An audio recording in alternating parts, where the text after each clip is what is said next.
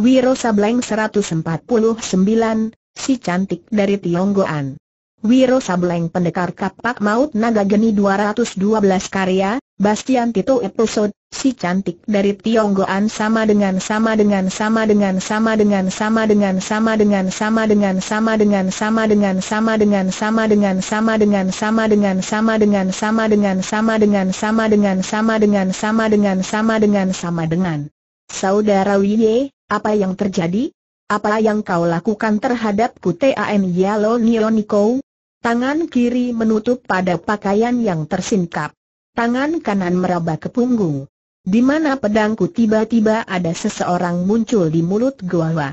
Leonio. Bangsat berambut gondrong itu barusan hendak memperkosamu untung aku datang. Dia pula yang telah mencuri pedang naga merah milikmu, saudara Wiei benar, benar-benar apa Nio kau hendak memperkosaku. Kau mencuri pedang naga merah Nio Nio, Aku belum gila melakukan hal bejat itu pasti bangsat muka tengkorak ini mengarang cerita mengumbar mulut fitnah saudara Wie. Aku tidak menyangka begitu bejat budi pekertimu.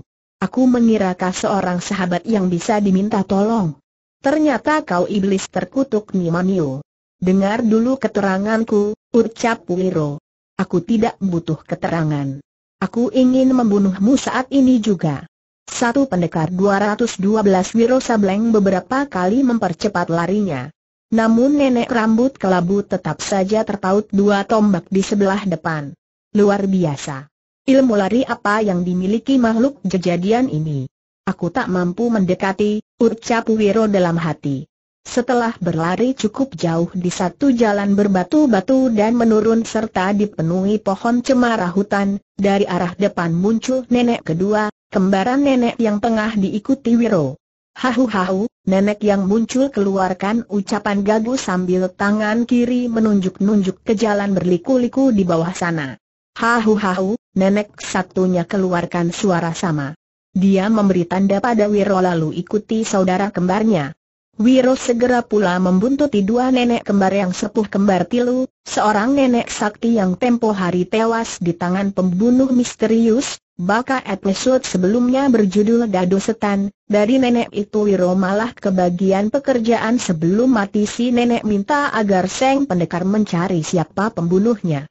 Makin ke bawah jalan yang ditempuh semakin terjal.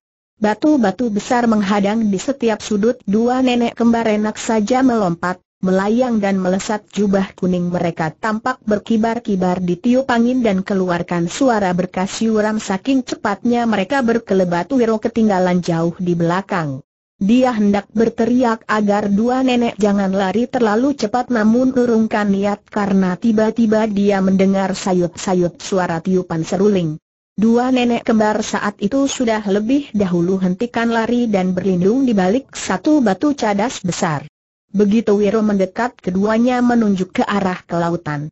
Mulut mereka hendak keluarkan suara hahu-hahu tapi Wiro cepat memberi tanda agar dua nenek ini jangan bersuara. Di arah yang ditunjuk, sekitar 20 tombak di bawah sana terdapat sebuah situ atau telaga yang airnya sangat jernih, memiliki dua warna, yaitu biru dan hijau. Warna ini bukan lain adalah pantulan dari pepohonan serta tanam-tanaman yang tumbuh di sekeliling telaga. Di tepi telaga sebelah timur, tepat arah jatuhnya cahaya seng surya siang hari itu, terapung sebuah rakit bambu. Di atas rakit ini ada bagian yang menyerupai kursi panjang. Di atas kursi bambu inilah tampak duduk seorang perempuan berpakaian merah berkembang kecil-kecil biru dan kuning asyik meniup seruling berwarna putih dan dari jauh kelihatan berkilauan terkena cahaya matahari. Karena agak jauh Wiro tidak dapat memperhatikan jelas, apalagi melihat wajah orang. Selain itu di bawah topi biru yang dikenakan wajah perempuan ini tertutup untayan manik-manik merah yang menjulai sampai ke bawah dagu. Di punggungnya tergantung sebilah pedang bersarung merah dan selembar papan seluncur. Tiupan seruling perempuan berbaju merah di atas rakit mengalun lembut namun sanggup menimbulkan bulatan-bulatan riak tak berkeputusan di permukaan air telaga serta mendatangkan getaran halus pada aliran darah pendekar 212. Pengaruh tiupan seruling membuat dua nenek kembar saling pandang dan mengusap muka berulang kali. Perempuan baju merah itu memiliki hawa sakti dan tenaga dalam tinggi, ucap Wiro perlahan. Salah seorang nenek kembar menggerak-gerakan tangan kanan ke atas ke bawah sementara tangan kiri mengacungkan jempol. Ya, ya, aku mengerti. Kau hendak mengatakan orang itu juga memiliki ilmu meringankan tubuh yang hebat kata Wiro pula. Kalian berdua tunggu di sini. Aku akan turun menemui perempuan itu. Wiro dongakkan kepala, menarik nafas dalam-dalam melalui hidung. Saat itu dia mencium bau harum semerbak. Rasa-rasanya dia pernah mencium bau harum seperti ini sebelumnya. Wiro memandang pada dua nenek kembar. Aku yakin dia yang telah menolong diriku sewaktu dilibat pohon beringin kejadian wujud sialan ki beringin reksal tubuhnya menebar bau harum yang sama. Dua nenek sama-sama mengangguk. Yang satu memberi tanda dengan gerakan tangan agar Wiro berlaku hati-hati. Baru saja Wiro keluar dari gundukan batu cadas, suara tiupan seruling mendadak berhenti. Wiro tahan gerakannya. Mata menatap tajam ke arah orang di atas rakit. Si baju merah ini sama sekali tidak menggerakkan tubuh atau kepala. Dia tidak memandang berkeliling. Tapi dari tubuh dan kepala yang tidak bergerak sama sekali agaknya dia sudah tahu aku ada di sini, pikir Wiro. Seng pendekar menunggu. Perempuan di atas rakit kembali meniup sulingnya. Wiro cepat berkelebat di antara batu-batu besar hingga akhirnya sampai di tepi sebelah selatan telaga. Dari sini dia segera hendak lari ke arah timur. Namun lagi-lagi gerakan pendekar 212 tertahan. Kali ini bukan oleh gerak-gerik perempuan di atas rakit namun karena berkelebatnya satu bayangan biru dari balik sebuah batu besar antara tempat dia berada dan rakit di tepi telaga. Wiro cepat menyelinap ke balik semak belukar lebat Lonio. Akhirnya ku temui juga kau satu suara seruan menggelegar di seantero telaga. Menatap ke arah timur Wiro melihat seorang berpakaian ringkas serba biru berdiri di tepi telaga, hanya terpisah satu tombak dengan rakit. Hebatnya, orang berambut hitam lebat panjang dan dijalin ke belakang ini memiliki wajah berbentuk tengkorak. Di balik punggungnya tersembunyi gagang sebilah pedang. Dari bentuk pakaian, Wiro mengetahui bahwa siapa pun adanya dia adalah seorang pendekar silat berasal dari daratan Tiongkok. Perempuan di atas rakit tampak terkejut tapi agaknya dia bisa menguasai diri. Perlahan-lahan dia bangkit berdiri. Suling perak diselipkan pada selendang yang terbelit di pinggangnya yang ramping. Ingin melihat lebih jelas dan juga ingin tahu apa yang dibicarakan kedua orang itu, Wiro bergerak mendekat. Namun dia hanya bisa garuk kepala karena dua orang tersebut bicara dalam bahasa yang tidak dimengertinya. Bahasa Tionggoan. Ong Chun bagaimana kau bisa berada di tempat ini perempuan di atas rakit bertanya. Leon Niu, aku sudah lama menyirap kabar bahwa kau akan berangkat ke tanah Jawa ini. Setelah mencari tahu dari teman-teman pulau dan kota mana yang kau tuju, aku berangkat mendahului, orang bermuka tengkorak menjawab kau pergi sejauh ini. Apakah tidak hanya membuang waktu percuma aku sudah berbulat tekad bahkan bersumpah. Aku akan mencarimu sampai dapat. Aku akan mengikutimu ke mana kau pergi, untuk apa tanya perempuan yang dipanggil dengan nama Lonio dan bukan lain adalah seorang paderi perempuan yang di Tionggoan Selatan dikenal dengan nama Kiang Lonio Niko. Lonio, jangan kau berkura-kura dalam perahu berpura-pura tidak tahu. Tiga tahun lebih aku mengikutimu. Aku tidak akan berhenti mengejarmu sebelum kau menyatakan diri mau menerima tali perjodohan denganku. Habis berkata begitu lelaki berpakaian biru yang rambutnya dikepang dan berwajah tengkorak ini melompat ke atas rakit. Gerakannya enteng, tubuhnya seringan kapas. Rakit yang dijejaki tidak bergoyang barang sedikit pun. Ong Chun, kau sudah tahu. Aku sudah menjadi seorang padri. Jangan, Leon Neo, itu dalihmu dari dulu. Lalu apakah seorang padri tidak boleh nikah memang tidak ada larangan. Tapi aku telah memutuskan dan memilih menjauhi segala urusan keduniaan, Liok Ong Chun tertawa bergelak. Kau berdusta. kau menipu dirimu sendiri. Kedatanganmu kemari jelas-jelas adalah untuk urusan dunia. Apa kau kira aku tidak tahu sangkut pautmu dengan benda yang kau cari? Dua buah dadu yang oleh orang-orang di daratan Tiongkok sudah dianggap sebagai dadu setan dan harus dimusnahkan? Apa kau kira aku tidak tahu kau telah memperalat beberapa tokoh Kang Ou? Dan semua mereka telah menemui kematian secara sia-sia buntet acuan, Xiao Jie, Hek Chiu Mo walau agak kaget bahwa orang di hadapannya tahu banyak tentang perjalanannya ke Tanah Jawa namun paderi perempuan itu bersikap tenang dan menjawab.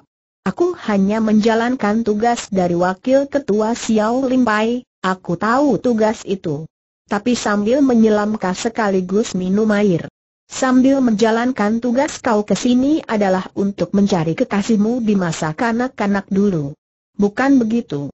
Jangan kau kira aku tidak tahu riwayat dirimu sejak kau baru lahir sampai saat ini wajah paderi perempuan yang tertutup di balik cadar untayan manik-manik tampak bersemu kemerahan.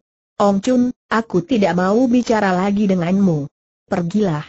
Aku ingin sendirian di tempat ini, menunggu kedatangan kekasihmu ucap Liok Ong Chun penuh mengejek. Leon Nio, dengar baik-baik. Aku tidak akan bergerak setapak pun. Sebelum kau menerima ikatan perjodohan Ong Chun kau juga dengar baik-baik dan masukkan ke dalam otakmu jawab Lo Nioniko jadi sengit antara kita selama ini tidak ada hubungan apa-apa. Antara kita tidak akan ada hubungan apa pun di masa mendatang wajah tengkorak Wong Chun mengelam kaku. Daripada teganya kau berkata begitu, lebih baik kau bunuh saja diriku saat ini juga seret Liok Ong Chun yang di Tionggoan dijuluki Kolo Hek alias pendekar muka tengkorak cabut pedang yang tergantung di punggung, jatuhkan diri setengah berlutut, pedang yang memancarkan sinar hijau diletakkan di atas rakit, kepala diulur, siap untuk dipenggal, pasrah menerima kematian. Akan tetapi paderi perempuan itu tidak bergerak dari tempatnya berdiri.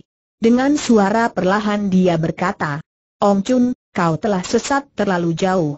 Bukan aku sendiri gadis di dunia ini. Kau bisa mencari yang lain. Yang lebih baik dari diriku. Sarungkan pedangmu kembali. Pedang sakti seperti Cheng Choa Kiam milikmu itu tidak boleh dipakai sembarangan, Cheng Choa Kiam sama dengan pedang ular hijau. Aku hanya menginginkan dirimu seorang. Kau tahu hal itu Lo Niu. Mengapa kau begitu angkuh tidak mau menerima diriku? Mengapa hatimu sekeras batu? Mengapa kau seolah tidak punya perasaan sama sekali Liok Ong Chun masih tetap dalam keadaan setengah berlutut dan kepala dimajukan. Sudah, aku tidak mau bicara lagi. Aku sarankan agar kau memencilkan diri di satu tempat bertapa atau bersemadi. Semoga kau diberi kesadaran oleh Tian, Tian sama dengan Tuhan, Leon Niu, kita sama-sama kembali saja ke Tionggoan. Mengapa membuang waktu di negeri orang, Ong Chun, kau tahu, aku ada urusan di negeri ini. Jika kau ingin pulang, pulanglah duluan. Kurasakan itu lebih baik bagimu, Leon Niu, jika kau tetap tidak mau memberi jalan dan juga tidak mau menghabisi diriku maka jangan salahkan kalau aku berbuat nekat aku merasa lebih baik kita mati bersama saja selesai keluarkan ucapan pendekar muka tengkorak alias Liok Ong Chun ambil pedang hijau yang tergeletak di atas rakit bambu. Lalu didahului satu teriakan dahsyat diakibatkan pedang demikian rupa hingga menyambar deras di depan rumbai manik-manik yang menjadi cadar Kiang Lo Niko. Jelas yang diincar adalah kepala atau leher Seng Niko dan jelas pula dia benar-benar hendak menghabisi paderi perempuan yang sangat dicintainya itu. Ong Chun, apa yang kau lakukan ini? Apakah sudah gila Lo Niko? Cepat cabut seruting perak yang terselip di pinggang. Kering terdengar suara berdering ketika mata pedang hijau saling beradu dengan suling perak. Bunga api memercik hijau dan pubah berkilau. Kiang Lo Nioniko merasa suling perak dan tangan kanannya bergetar. Walau menyadari suling itu bukan tandingan pedang sakti Cheng Choa Kiam milik lawan, namun dengan mengandalkan ilmu meringankan tubuh tenaga dalam serta gerakan yang sangat cepat paderi perempuan itu masih sanggup menghadapi gempuran gencar Liok Ong Chun, Malah dua kakinya tidak bergeser sedikit pun dari tempat injakan semula. Ini menjadi bukti bahwa sebenarnya tingkat kepandaian Seng Paderi berada di atas orang yang nekat hendak membunuhnya. Leonio, aku memang sudah gila. Tergila-gila padamu. Aku akan membunuhmu. Setelah itu aku akan bunuh diri. Tidak berjodoh di dunia tidak jadi apa, tapi di alam akhirat kita bisa bersatu dua makin sulit bagi Liok Ong Chun menembus pertahanan lawan yang hanya mengandalkan sebuah suling perak. Semakin beringas lelaki muka tengkorak ini menghujani Seng Paderi dengan bacokan, tusukan serta babatan pedang. Setelah serangan menghabisi jurus ke-9 dan tidak menghasilkan apa-apa, maka didahului satu teriakan dahsyat Liok Ong Chun kiblatkan pedang Cheng Choa Kiam dalam jurus andalannya bernama Tian Yau Te Soan atau Langit Goyang Bumi Berputar. Leon Nioniko melihat pedang di tangan Ong Chun menggeletar seperti ular melesat. Dua kakinya yang menginjak lantai rakit terasa bergoyang kesemutan sementara di sebelah atas kepalanya terasa pening. Berat ujung pedang berhasil menyambar bahu kiri baju merah Lo Nioniko hingga paderi ini terpekik dan untuk pertama kalinya dia melompat di atas rakit lalu melesat ke daratan. Dengan sigap Pong Chun mengejar. Pedang Cheng Choa Kiam kembali menggempur. Kali ini dalam jurus Je Hong Toh Te atau pelangi melengkung ke bumi pedang sakti di tangan Liok Ong Chun menderu deras dan membuat cahaya hijau setengah lingkaran. Benar-benar laksana pelangi jatuh ke bumi sangat berbahaya bagi keselamatan Lo Nioniko yang saat itu masih mengandalkan suling perak dalam menghadapi lawan. Sebenarnya untuk melindungi diri Paderi ini ingin mencabut pedang di punggung. Namun dia merasa khawatir. Pedang naga merah bukan senjata sembarangan. Sekali keluar dari sarungnya Liok Ong Chun bisa celaka. Khawatir si baju merah akan mendapat celaka, Wiro tidak tunggu lebih lama. Namun sebelum dia melesat dua nenek kembar yang sepuh kembar Cilu mendahului bergerak. Keduanya memberi isyarat pada Wiro dengan ngerakan tangan mereka yang akan menolong paderi perempuan itu. Selesai memberi isyarat dua nenek melesat ke udara. Di depan sana tahu-tahu Liok Ong Chun merasakan dua bahunya ditahan dan ditekan orang lalu tubuhnya tertarik ke belakang hampir terjengkang hingga serangan Chai Hong Toh Te atau pelangi melengkung ke bumi hanya menduru membabat udara kosong. Saat itu Lo Nioniko yang tengah berpikir-pikir apakah akan mencabut pedang sakti atau tidak tampak terkejut melihat kemunculan dua nenek kembar aneh yang menelikung Liok Ong Chun dari belakang. Bangsa terendah Siapa berani berlaku kurang ajar Liok Ong Chun berteriak marah dan hantamkan dua siku tangannya ke belakang. Buk! Buk hahu hahu dua nenek lepaskan cekalan. Dilabrak sikutan keras tadi keduanya seperti tidak merasakan padahal sikut kiri kanan Liok Ong Chun mendarat di tubuh mereka dengan telak. Jangankan tubuh manusia, tembok pun bisa jebol. Liok Ong Chun tidak tahu kalau yang jadi lawannya saat itu adalah dua nenek kembar jejadian. Begitu cekalan pada bahunya terlepas pendekar tengkorak segera berbalik dan kiblatkan Cheng Choa Kiam dalam jurus Chia Yan Hoan Sim atau burung walet membalik diri. Pedang ular hijau membabat di udara.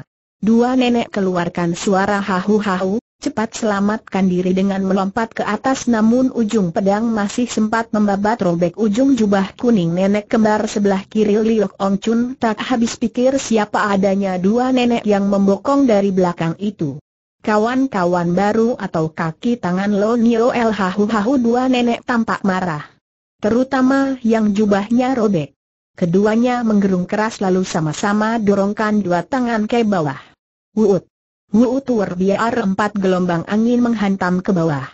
Tanah di tepi telaga terbongkar, air di pinggir telaga muncrat ke atas. Liok Ong Chun berteriak keras. Pandangannya tertutup oleh hamburan tanah dan cipratan air telaga. Dalam keadaan seperti itu dia merasa empat tangan bergerak di seputar tubuhnya sebelah atas. Lalu, bereet, i bereet, bereet terdengar suara robekan pakaian berulang kali. Kurang ajar. Apa yang kalian lakukan teriak Liok Ong Chun. Pedang dibabatkan ke atas, ditusukkan ke depan, lalu dibacokkan ke samping. Namun dia hanya menghantam tempat kosong. Sementara di lain kejap dia merasa tubuhnya didorong keras ke depan hingga terjerembab di tanah, belum sempat bergerak bangkit, dia merasa celana birunya diloloskan orang hahu, hahu. Hik, hik, hik begitu cipratan air telaga dan hamburan tanah lenyap. Liok Ong Chun berteriak kaget dan juga marahi dia dapatkan dirinya dalam keadaan polos, hanya tinggal mengenakan celana dalam putih. Di hadapannya dua nenek kembar berjubah kuning tertawa hahai-hahai sambil menunjuk-nunjuk ke arah bagian bawah perut si muka tengkorak. Tua bangka setan alas maki Liok Ong Chun dalam bahasa Cina yang tentu saja tidak dimengerti dua nenek. Kucincang kalian Liok Ong Chun melompat sambil layunkan pedang Cheng Choa Kiam. Pedang bergeletar hebat dua nenek melihat seperti ada setengah lusin ular menyerang ke arah mereka. Hahu-hahu nenek di sebelah kanan kibaskan tangan ke atas menangkis serangan lawan sementara tangan kanannya menunjuk-nunjuk ke arah celana kolor yang masih tersisa di tubuh Liok Ong Chun. Nenek satunya yang mengerti maksud kawannya segera jatuhkan diri ke tanah, dua tangan menyambar ke arah kolor putih. Sadar apa yang hendak dilakukan orang, dirinya akan ditelanjangi dengan cepat Liok Ong Chun jatuhkan diri ke tanah, Sambar sarung pedang yang tadi jatuh bersama robekan baju lalu gelindingkan tubuh menjauh setelah sebelumnya kirim satu tendangan yang tidak mengenai sasaran. Tua bangka kurang ajar. Kalian akan menerima balasanku Liok Ong Chun memandang berkeliling mencari Lon Nimaniko, tapi padari ini sudah sembunyi di balik sebuah pohon besar karena jengah melihat keadaan Liok Ong Chun yang nyaris bugil. Leonio jika aku tidak bisa mendapatkan dirimu, jika aku tidak bisa menghabisi dirimu, aku akan membunuh semua lelaki yang berani mendekatimu habis berkata begitu sambil pegangi kolornya yang kedodoran awut-awutan Liok Ong Chun tinggalkan telaga sambil mulutnya memaki panjang pendek. Hahu hahu. Hik, hik, hik dua nenek kembar tertawa terpingkal-pingkal lalu lari ke balik semak belukar menemui Wiro. Yang satu menunjuk-nunjuk ke arah pohon besar. Aku tahu, gadis berpakaian merah ada di balik pohon itu. Ayo kita menemuinya ke sana. Wiro dan dua nenek lantas berkelebat ke balik pohon besar. Leon Nioniko agak terkejut ketika dapatkan dirinya didatangi dan berhadapan dengan si pemuda gondrong serta dua nenek kembar. Namun sadar kalau dua nenek itu tadi telah menolongnya walau dia sebenarnya sudah siap keluarkan pedang Ang Leong Kiam yang akan sanggup menghadapi gempuran lawan, Seng Niko cepat menjura dalam-dalam di hadapan dua nenek. Terima kasih. Orang tua berdua telah menolong saya. Mengapa melakukan itu? Hahu-hahu, dua nenek dan juga Wiro sama-sama terkejut walau ucapannya tidak fasih betul dan bahasanya agak kaku namun ternyata gadis berpakaian merah ini bisa bicara bahasa setempat. Pendekar 212 garuk-garuk kepala beberapa kali. Nona, kami yakin kau bukan orang sini. Kalau tidak salah menduga kau adalah orang dari negeri seberang, daratan Tiongkok. Menakjubkan kau bisa bahasa kami, Wiro berkata sambil matanya coba mengintai kebalik untayan tirai manik-manik yang menutupi wajah orang. Tapi untayan manik-manik itu sangat rapat hingga matanya tidak dapat menembus. Dia hendak terapkan il menembus pandang tapi tidak bisa. Aneh. Apakah orang ini memiliki hawa sakti yang punya daya tolak luar biasa? Tidak ada hal menakjubkan.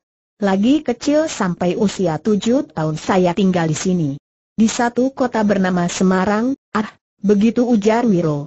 Hahu-hahu dua nenek kembar menimbrung. Di balik cadar manik si baju merah tersenyum lalu bertanya pada Wiro. Dua nenek hebat ini, apakah dia pelaraanmu? Naluri saya mengatakan dia bukan manusia serupa kita. Apakah dia sebangsa jin yang saya dengar sangat banyak keberadaannya di negeri INL hahu-hahu? Dua nenek goyang-goyangkan tangan tapi dengan wajah tersenyum. Mereka sahabatku. Mereka baik terhadap siapa saja. Mereka kelihatan sangat senang mengenalmu, terima kasih, terima kasih, Leon Nioniko menjura. Saya rasa dua kawanmu ini agak keterlaluan mempermalukan orang tadi sampai bugil begitu rupa, hahu-hahu, dua nenek membuat gerakan tangan berulang kali. Apa yang hendak dikatakan dua sahabatmu itu tanya si baju merah. Mereka ingin mengatakan, kalau tidak ditelanjangi orang itu tidak akan mau angkat kaki dari sini, Leon Nioniko tertawa. Cerdik juga dua nenek kembar itu membuat lawan kabur tanpa mencederai, mereka masih berbaik hati. Kalau sampai kolor orang itu ikut dicopot, wah, Wiro dan dua nenek tertawa gelak-gelak. Dua nenek balas monjura lalu tertawa hahong hehil. Yang satu sambil memegang lengan kembarannya mengacungkan jari telunjuk dan jari tengah tangan kanan lalu tangan dijalankan ke kiri. Kalian mau pergi? Silahkan saja aku juga berterima kasih kalian telah menolong nona ini, kata Wiro yang mengerti maksud isyarat si nenek. Dua nenek keluarkan suara hahu-hahu, yang satu kedip-kedipkan mata, yang satu lagi runcingkan bibir lalu digerak-gerakan hingga mengeluarkan suara seperti orang mengecup. Kemudian sambil tertawa hahaha Tolip terhai keduanya tinggalkan tempat itu dan lenyap dalam sekejapan mata. Luar biasa ilmu kesaktian mereka, memuji Lo Nioniko. Nona, bagaimana kau jauh-jauh dari daratan Tiongkok bisa sampai di sini? Lalu siapa pula lelaki muka tengkorak tadi jangan panggil saya Nona. Panggil saya Loni Moniko. Saya seorang padiri, ah, Wiro kembali garuk kepala. Tidak menyangka kalau saat itu dia berhadapan dengan seorang padiri perempuan. Walau belum melihat wajah, namun dari raut tubuh serta suara Wiro merasa pasti si paderi berbaju merah ini seorang gadis remaja. Masih begini muda sudah jadi paderi. Satu kehormatan besar bisa berkenalan dengan seorang paderi lidah saya agak susah menyebut nama paderi. Apa boleh saya memanggil paderi dengan sebutan Nionio saja lo Nioniko terdiam sejenak lalu tertawa lepas. Seumur hidup belum pernah orang memanggil saya Nionio. Itu nama punya lucu.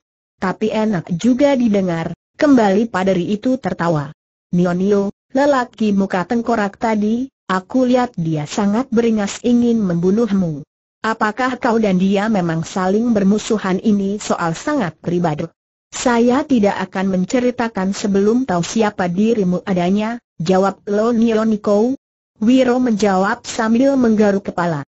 Nama Wiro, Wiro Lo Nioniko mengingat-ingat, lalu dibalik tirai manik-manik wajahnya menunjukkan keterkejutan. Kakinya malah tersurut satu langkah. Ada apa, Apakah namaku satu hal yang menakutkan bagimu? Tanya pendekar 212. Seorang tokoh perguruan di Tionggoan pernah memberitahu tentang dirimu.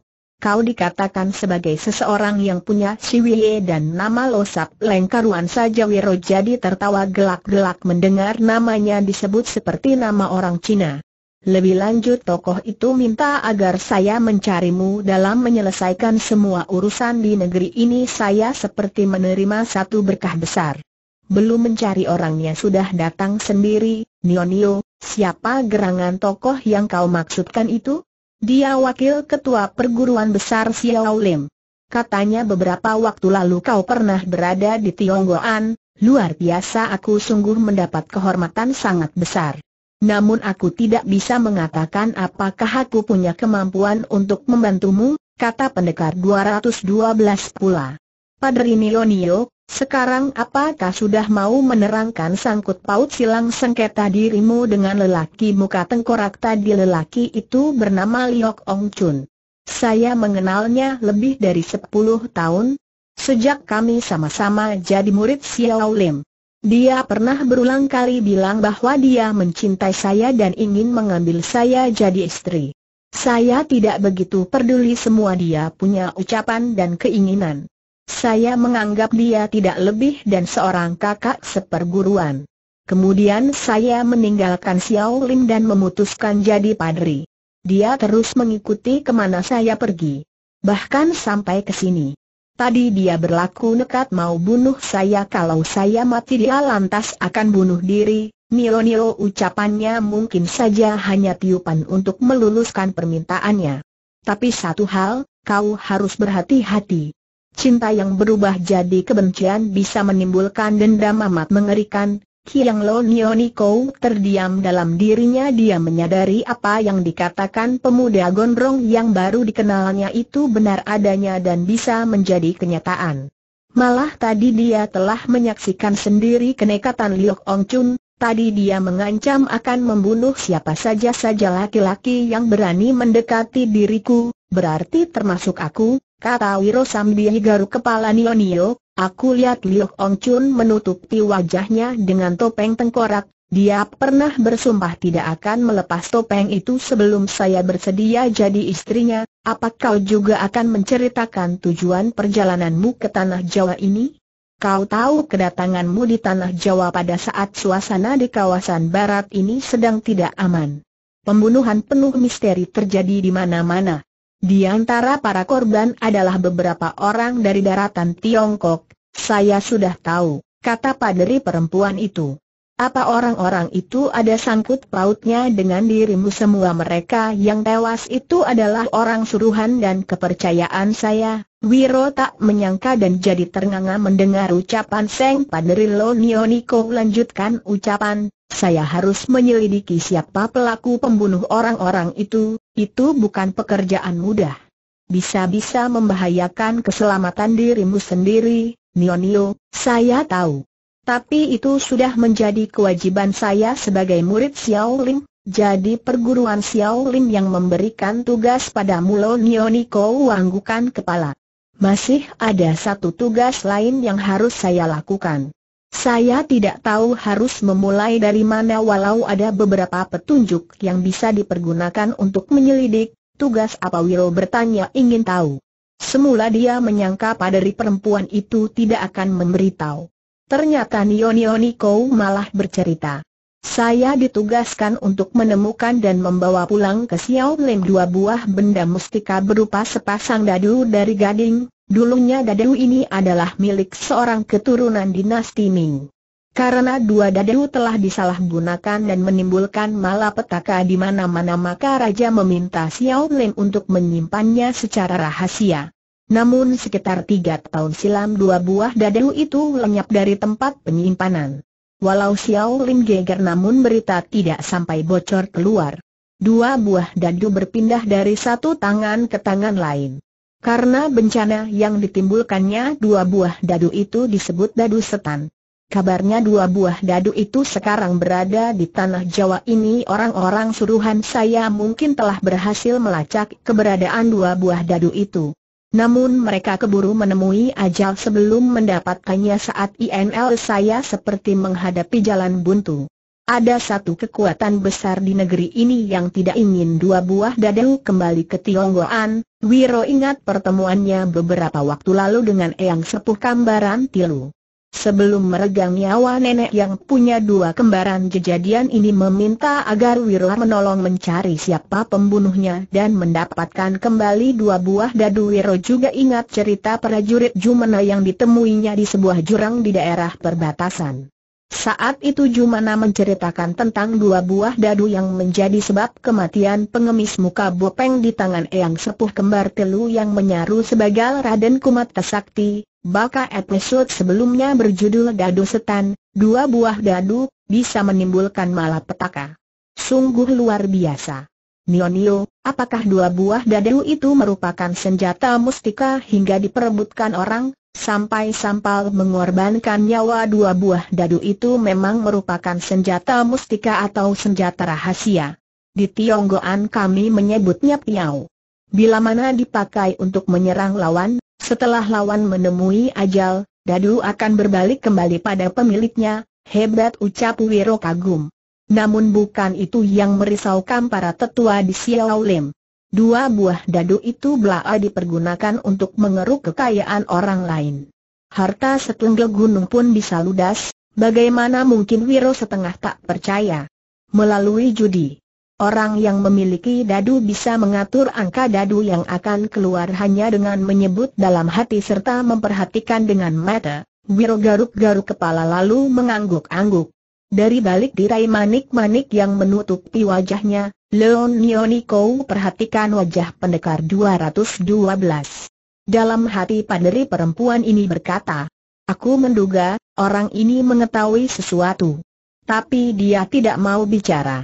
Apakah aku memang bisa mempercayainya seperti yang dikatakan Wakil Ketua Xiao Lim? Orang bisa saja berubah.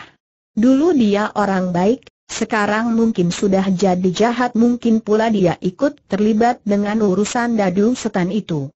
Berarti bisa jadi dia yang membunuh Bun Pek Acuan, Xiao Chie dan Hek Chumo. Apa yang harus aku lakukan? Padahal masih ada satu urusan penting menyangkut pedang mustika milikku dengan senjata sakti konon berupa kapak yang menjadi miliknya.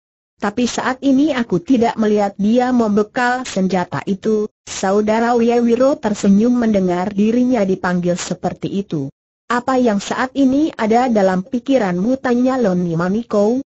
Nionio, Aku pasti tewas ketika melawan manusia pohon bernama Ki Beringin Reksa itu kalau kau tidak menolongku, bagaimana kau bisa berkata bahwa aku yang menolongmu?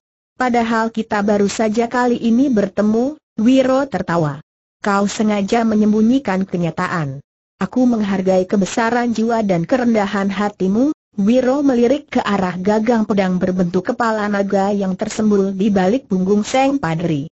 Wiro terkesiap sesaat untuk pertama kali dan menyadari ukiran kepala naga yang jadi gagang pedang Seng Padari bentuknya sama dengan kepala naga gagang naga geni 212 miliknya. Saudara Wiye, kau yakin aku menolongmu saat itu aku melihat satu bayangan merah berkelebat disertai berkiblatnya cahaya merah. Aku yakin bayangan merah itu adalah dirimu yang mengenakan pakaian merah. Lalu cahaya merah adalah cahaya pedang sakti yang kau bekal di punggung. Pasti dengan pedang sakti itu kau telah membabat putus tangan Ki Beringin Reksa. Selain itu aku mencium dan mengenali satu bau harum. Bau tubuh dan pakaianmu. Nio-nio saat kau menolongku kita belum saling mengenai. Mengapa mau turun tangan menghadang bahaya menyelamatkan diriku apakah untuk menolong seseorang yang terancam jiwanya kita harus banyak berpikir? Sebelum selesai berpikir bisa-bisa orang yang mau ditolong sudah mati duluan, Wiro tertawa lebar. Selain itu, hal tolong menolong bukankah hukum yang tidak tertulis di dalam limbah persilatan kau benar Nio Nio? Aku ingin mengucapkan terima kasih atas pertolonganmu, Leon Nioniko hanya tersenyum di balik cadar manik-manik yang menutupi wajahnya. Nionio, kalau saja ada sesuatu yang bisa aku lakukan untuk membalas budi baik dan hutang nyawaku, saya menolong bukan mengharapkan pamrih. Tapi jika ada kesudian, harap saudara Wei mau menemui saya di tempat kediaman Adipati Brebes, lusa tengah malam, Wiro agak heran mendengar ucapan Seng Padri. Adipati Brebes kau mengenal Adipati itu saat ini dia satu-satunya orang yang bisa memberi petunjuk dalam mencari dua buah dadu itu. Apakah saudara Wiyai bersedia datang? Saya memerlukan seorang teman untuk menemani sewaktu menemui Adipati itu, Wiro mengangguk. Tunggu saya di depan pintu gerbang gedung Kadipaten. Saya akan datang tepat pada pertengahan malam, mengapa harus pada pertengahan malam? Bukan siang hari tanya pendekar 212 pula. Itu permintaan Adipati Brebes. Saya hanya bisa mengikuti saya orang asing. Mungkin Adipati tidak mau ada orang luar yang tahu saya mengunjunginya, Wiro anggukan kepala. Saudara WLE, saya harus pergi sekarang. Saya ada keperluan lain kita bertemu di tempat yang saya katakan tadi, Nio Nio, tunggu dulu. Bagaimana kau bisa mengenal Adipati Brebes padahal kau belum lama berada di sini? Pertanyaan Wiro itu menimbulkan sedikit rasa curiga dalam diri Loni Maniko. Apa perlunya pemuda gondrong ini menanyakan hal itu? Jangan-jangan dia tengah menyelidiki diriku pikir Seng Padri. Jika kau tidak mau memberitahu tidak jadi apa, ucap Wiro ketika dilihatnya orang hanya berdiam diri tak mau menjawab. Leon Nioniko ambil papan seluncur yang tergantung di punggungnya. Papan ini dijatuhkan ke dalam telaga, diinjak dengan kaki kanan. Begitu Seng Paderi celupkan kaki kiri ke dalam air dan dikibaskan ke belakang, papan seluncur melesat ke depan. Hanya dua kali menggerakkan kaki kiri, Leon Nioniko sudah berada di tepi barat telaga, naik ke darat dan lenyap dari pemandangan tiga udara malam terasa dingin sementara angin bertiup kencang. Langit kelihatan gelap kelam. Tak ada bulan tak ada bintang. Mungkin tak lama lagi akan turun hujan. Gedung besar kediaman Adipati Brebes tampak sunyi. Hanya ada sebuah lampu kecil menyala di langkan depan.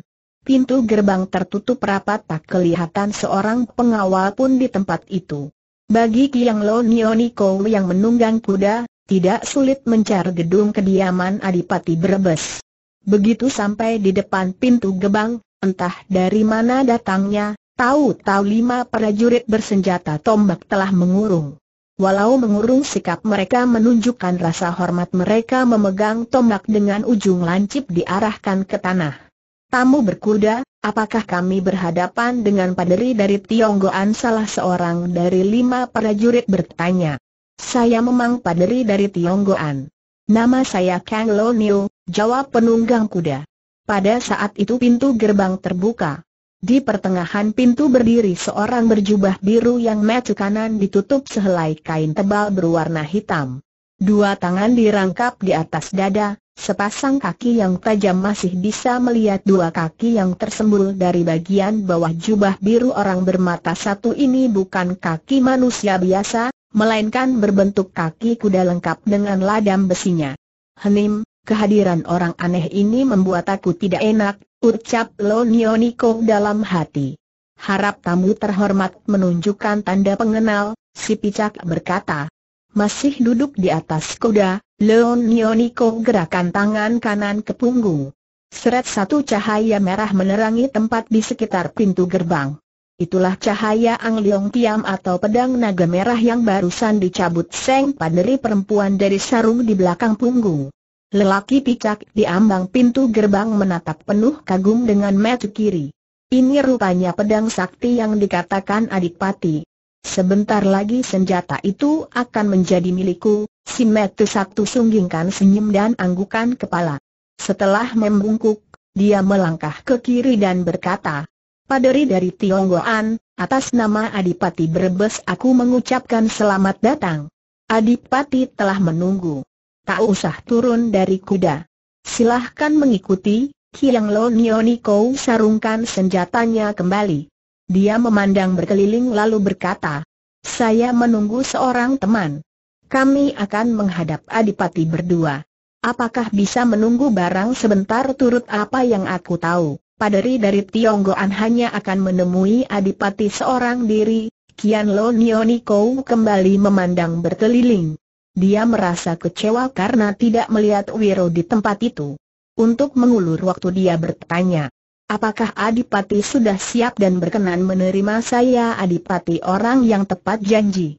Karena itu jangan membuat dia tidak enak karena terlalu lama menunggu, apakah sebelum ini tidak ada tamu lain yang datang tamu siapa maksud pada ribalik bertanya si jubah biru mata satu.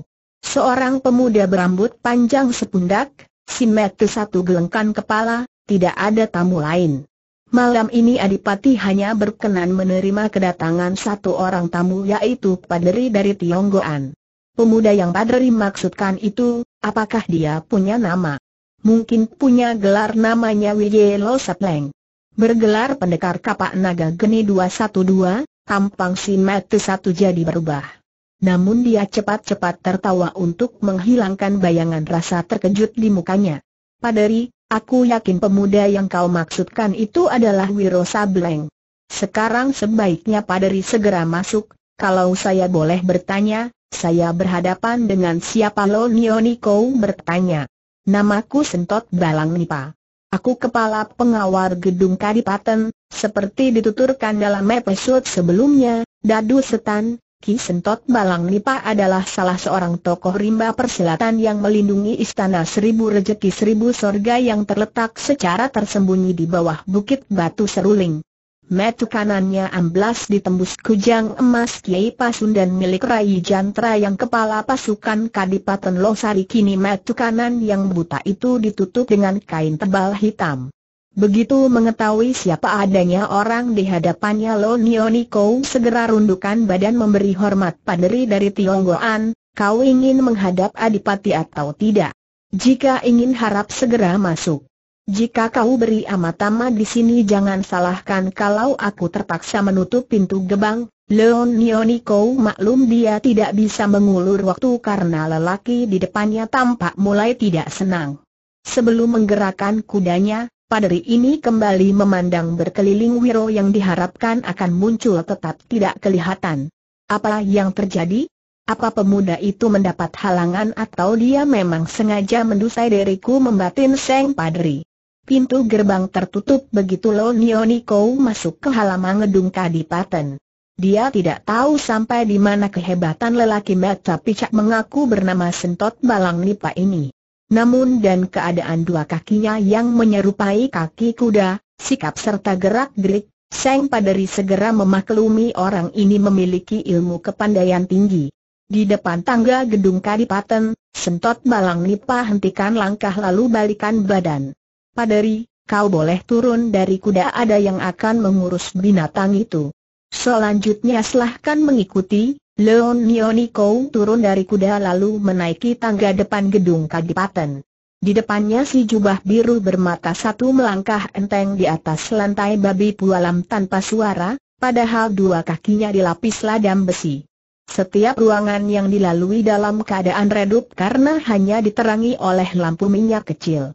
Di satu tempat yang merupakan ruangan luas Kisentot Balang Nepa hentikan langkah kaki kanan berketukan tiga kail ke lantai batu pualam.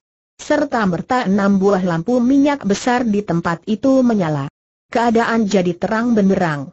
Kisentot melirik ke samping memperhatikan tubuh elok Lo Nioniko di sampingnya. Sayang wajahnya tertutup untayan manik-manik. Aku yakin wajahnya pasti cantik sekali. Bau tubuhnya yang harum hem, ucap Kisentot balang nipa dalam hati.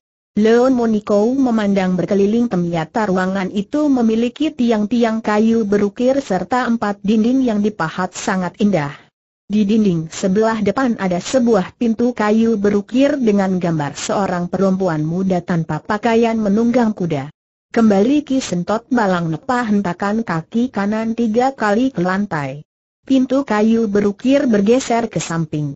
Sesaat kemudian dari dalam ruangan keluar seorang lelaki bertubuh kukuh, mengenakan belangkon biru dan jas tutup hitam. Berwok serta kumisnya tebal sekali. Inilah Raden Maskarta Sumenta, Adipati Brebes. Seng Adipati tertawa lebar lalu lundukkan kepala sedikit dan berkata, Padri Lonio, sungguh satu kehormatan besar kau bersedia memenuhi janji datang ke gedungku, Adipati, saya mengucapkan terima kasih karena Adipati telah sudi menyediakan waktu menerima kedatangan saya, jawab Lo Nioniko sambil membalas penghormatan orang dengan membungkukkan badan. Lalu dia menyambung ucapannya. Saya maklum Adipati tidak punya banyak waktu apakah kita bisa bicara di sini jangan khawatir. Untuk Padri Lonio saya akan meluangkan waktu luas. Tidak usah terburu-buru. Mari kita berbincang-bincang di dalam, Adipati Brebes mempersilahkan tamunya masuk ke dalam ruangan dia memberi isyarat pada Kisento Tebalang Nipa yang segera tinggalkan tempat itu. Adipati, ada sesuatu yang hendak saya sampaikan, kata Sentot Balang Nipa. Maksudnya hendak memberitahu bahwa tamu paderi perempuan dari Tionggoan itu punya hubungan dengan pendekar 212 Wiro Sableng. Namun Adipati menjawab setengah berbisik. Nanti saja. Pada saatnya harap kau bersiap-siap untuk mengambil pedang milik Seng Padri, Ki Sentot Balang Nipa mengangguk lalu tinggalkan tempat itu. Perlahan-lahan pintu kayu berukir gambar perempuan telanjang menunggang kuda menutup kembali. Ruang di mana Lo Nioniko berada ternyata sebuah ruangan yang sangat bagus. Lantai tertutup permadani dari Turki. Empat dinding memiliki warna dasar biru muda dan hiasi lukisan pemandangan yang saling sambung antara dinding satu dengan dinding lainnya. Leon Nioniko belum pernah melihat lukisan begini indah dan seolah hidup sehingga merasa berada di satu alam terbuka penuh kesegaran. Di tengah ruangan terdapat sebuah meja dan dua kursi terbuat dari kayu jati berukir burung pada bagian sandaran dan tangan kursi kiri kanan. Di atas meja ada sebuah piala kaca serta dua buah seloki besar yang juga terbuat dari kaca. Adipati Brebes mempersilahkan tamunya duduk. Entah mengapa saat itu Lo Nioniko merasa hatinya kurang tenteram. Karena itu setelah duduk di kursi paderi ini langsung bicara pada maksud kedatangannya. Adipati, Saya tidak ingin mengganggu Adipati terlalu lama. Izinkan saya bicara pada pokok persoalan. Saya sudah menerima keterangan dari penghubung kita bahwa Adipati mengetahui di mana beradanya dua buah dadu gading yang berasal dari Tiongkok itu, pada Rilonio waktu kita cukup banyak. Mengapa terburu-buru? Lagi pula bukankah sepatutnya saya menjamu paderi lebih dulu habis berkata begitu Adipati Brebes Karta Suminta menuangkan minuman dalam piala ke dalam dua buah cangkir kaca. Minuman ini tidak ada di Tiongkok terbuat dari jahe yang ditumbuk halus, diberi air yang sudah dimasak ditambah madu dari negeri Arab. Jika diminum hangat-hangat akan membuat tubuh terasa segar, otak jernih, pandangan menjadi terang serta hati lega. Haha, ha. Silahkan Padri mencicipi, Leon Nioniko tampak sedikit bimbang. Saya tidak khas katanya. Tidak baik menampik. Atau mungkin Padri menaruh curiga akan sesuatu Adipati Brebes ambil seloki di hadapannya lalu meneguk minuman di dalam seloki itu sampai habis. Wajahnya kelihatan merah dan keringat memercik di kening. Pelipis kiri kanan tampak bergerak-gerak. Tidak ada apa-apa dalam minuman ini. Tidak ada racun kata Adipati pula lalu tertawa lebar. Karena merasa tidak enak. Leon Nioniko akhirnya ulurkan tangan mengambil seloki di atas meja.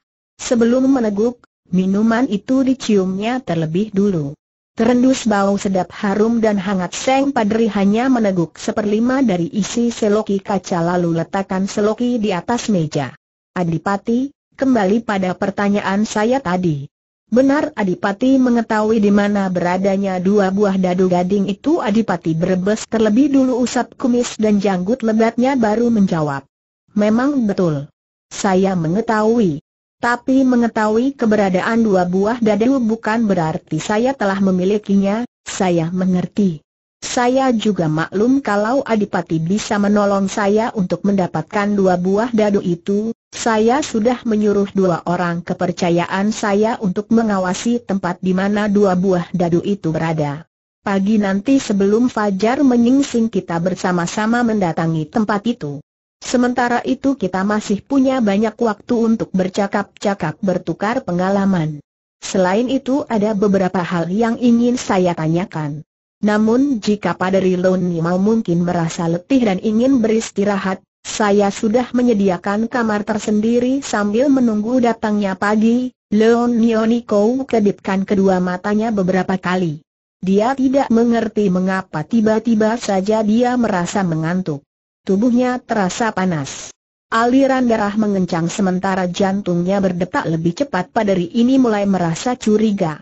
Terima kasih, saya tidak letih, Mengantuk mungkin tidak juga. Tapi, Seng Padri menguap. Cepat-cepat dia tutupkan tangan kanan ke mulut sepasang matanya berair. Kepala terasa berat tersentak ke depan, maafkan saya. Beberapa hari ini saya memang kurang tidur Lo Nioniko menguap kembali. Bersamaan dengan itu kepala dan tubuhnya terkulai ke kursi. Adipati Kartasuminta tersenyum. Perlahan-lahan dia berdiri, melangkah ke dinding. Saat itu juga bagian tengah dinding yang berseberangan bergerak turun ke lantai ruangan, membentuk sebuah tempat tidur besar berkasur tebal, terbungkus seperai lembut gelegak nafsu membersit jelas di wajah yang menyeringai. Adipati Kartasuminta mendatangi sosok yang terkulai tak sadarkan diri di kursi kayu jati. Kemudian diambilnya pedang dan papan seluncur yang ada di punggung Padri Lonio, diletakkan di atas meja. Lalu tubuh Lo Nioniko didukung, dibaringkan di ayas tempat tidur. Lalu Adipati ini membuka pakaiannya. Dengan hanya mengenakan celana dalam dia kemudian berbaring di samping Lo Nioniko. Topi biru yang bersambung dengan untayan manik-manik merah ditanggalkan dari kepala Seng Padri. Untuk beberapa saat lelaki ini terkesiap sewaktu melihat ternyata Seng Paden berkepala licin gundul. Walau tidak memiliki rambut namun wajah Seng Paderi tampak cantik jelita. Alis lengkung bak bulan sabit bibir merah seperti delima merekah. Adipati berebes ciumi kepala gundul dan wajah cantik harum itu berulang kali. Sambil tertawa lebar dan pandang wajah serta kepala Lo Nioniko Adipati Kartasuminta usap-usap janggutnya yang lebat seumur hidup baru kalian aku melihat gadis botak secantik ini. Ha, ha, ha. Pengalaman baru. Aku akan meniduri gadis botak Kartasuminta melirik ke bagian bawah pinggang Padri Lo Nio. Apakah, apakah ha, ha, Ha dengan penuh nafsu dia kembali menciumi wajah dan kepala gundul paderi dari Tionggoan itu berkali-kali. Dua tangan Adipati Kartasuminta kemudian bergerak menyingkap dada pakaian Seng Padri. Di balik pakaian luar warna merah berkembang-kembang biru dan kuning itu ada selapis pakaian dalam. Pakaian di dalam ini begitu tipis sehingga Seng Adipati dapat melihat jelas dada Lo Nioniko sepasang matanya membesar. Seumur hidup baru kali ini dia melihat dada begitu bagus, putih dan mulus. Penuh gelegak nafsu lelaki ini sapukan wajahnya dengan ngemas ke dada Lo Nioniko. Berak tiba-tiba atap ruangan jebol. Sesosok tubuh melayang turun. Bersamaan dengan itu satu tendangan meneru ke arah kepala Adipati Brebes yang tengah melampiaskan nafsunya itu sementara Lo Nioniko masih dalam keadaan tidak sadarkan diri. Empat dalam gelapnya malam pendekar 212 Wiro Sableng hentikan lari. Dia membungkuk untuk mengencangkan ikatan kasut di kaki kanan. Sebenarnya ini adalah satu kepura-puraan belaka. Sejak tadi dia mengetahui ada seseorang berlari menguntit dirinya. Sambil membungkuk Wiro memperhatikan ke belakang. Gelap sunyi. Tak tampak seorang pun. Cepat juga setan itu sembunyi pikir Wiro tapi aku akan segera mengetahui siapa orangnya. Wiro lanjutkan lari ke arah utara menuju Kadipaten Brebes. Malam itu sesuai perjanjian tepat tengah malam dia akan menemui Kang Lo Nioniko di pintu gerbang gedung kediaman Adipati Brebes. Semula Wiro mengira orang yang menguntiknya adalah Seng Paderi sendiri. Namun setelah ditunggu beberapa lama orang yang membuntuti itu tak kunjung menyusul atau unjukkan diri.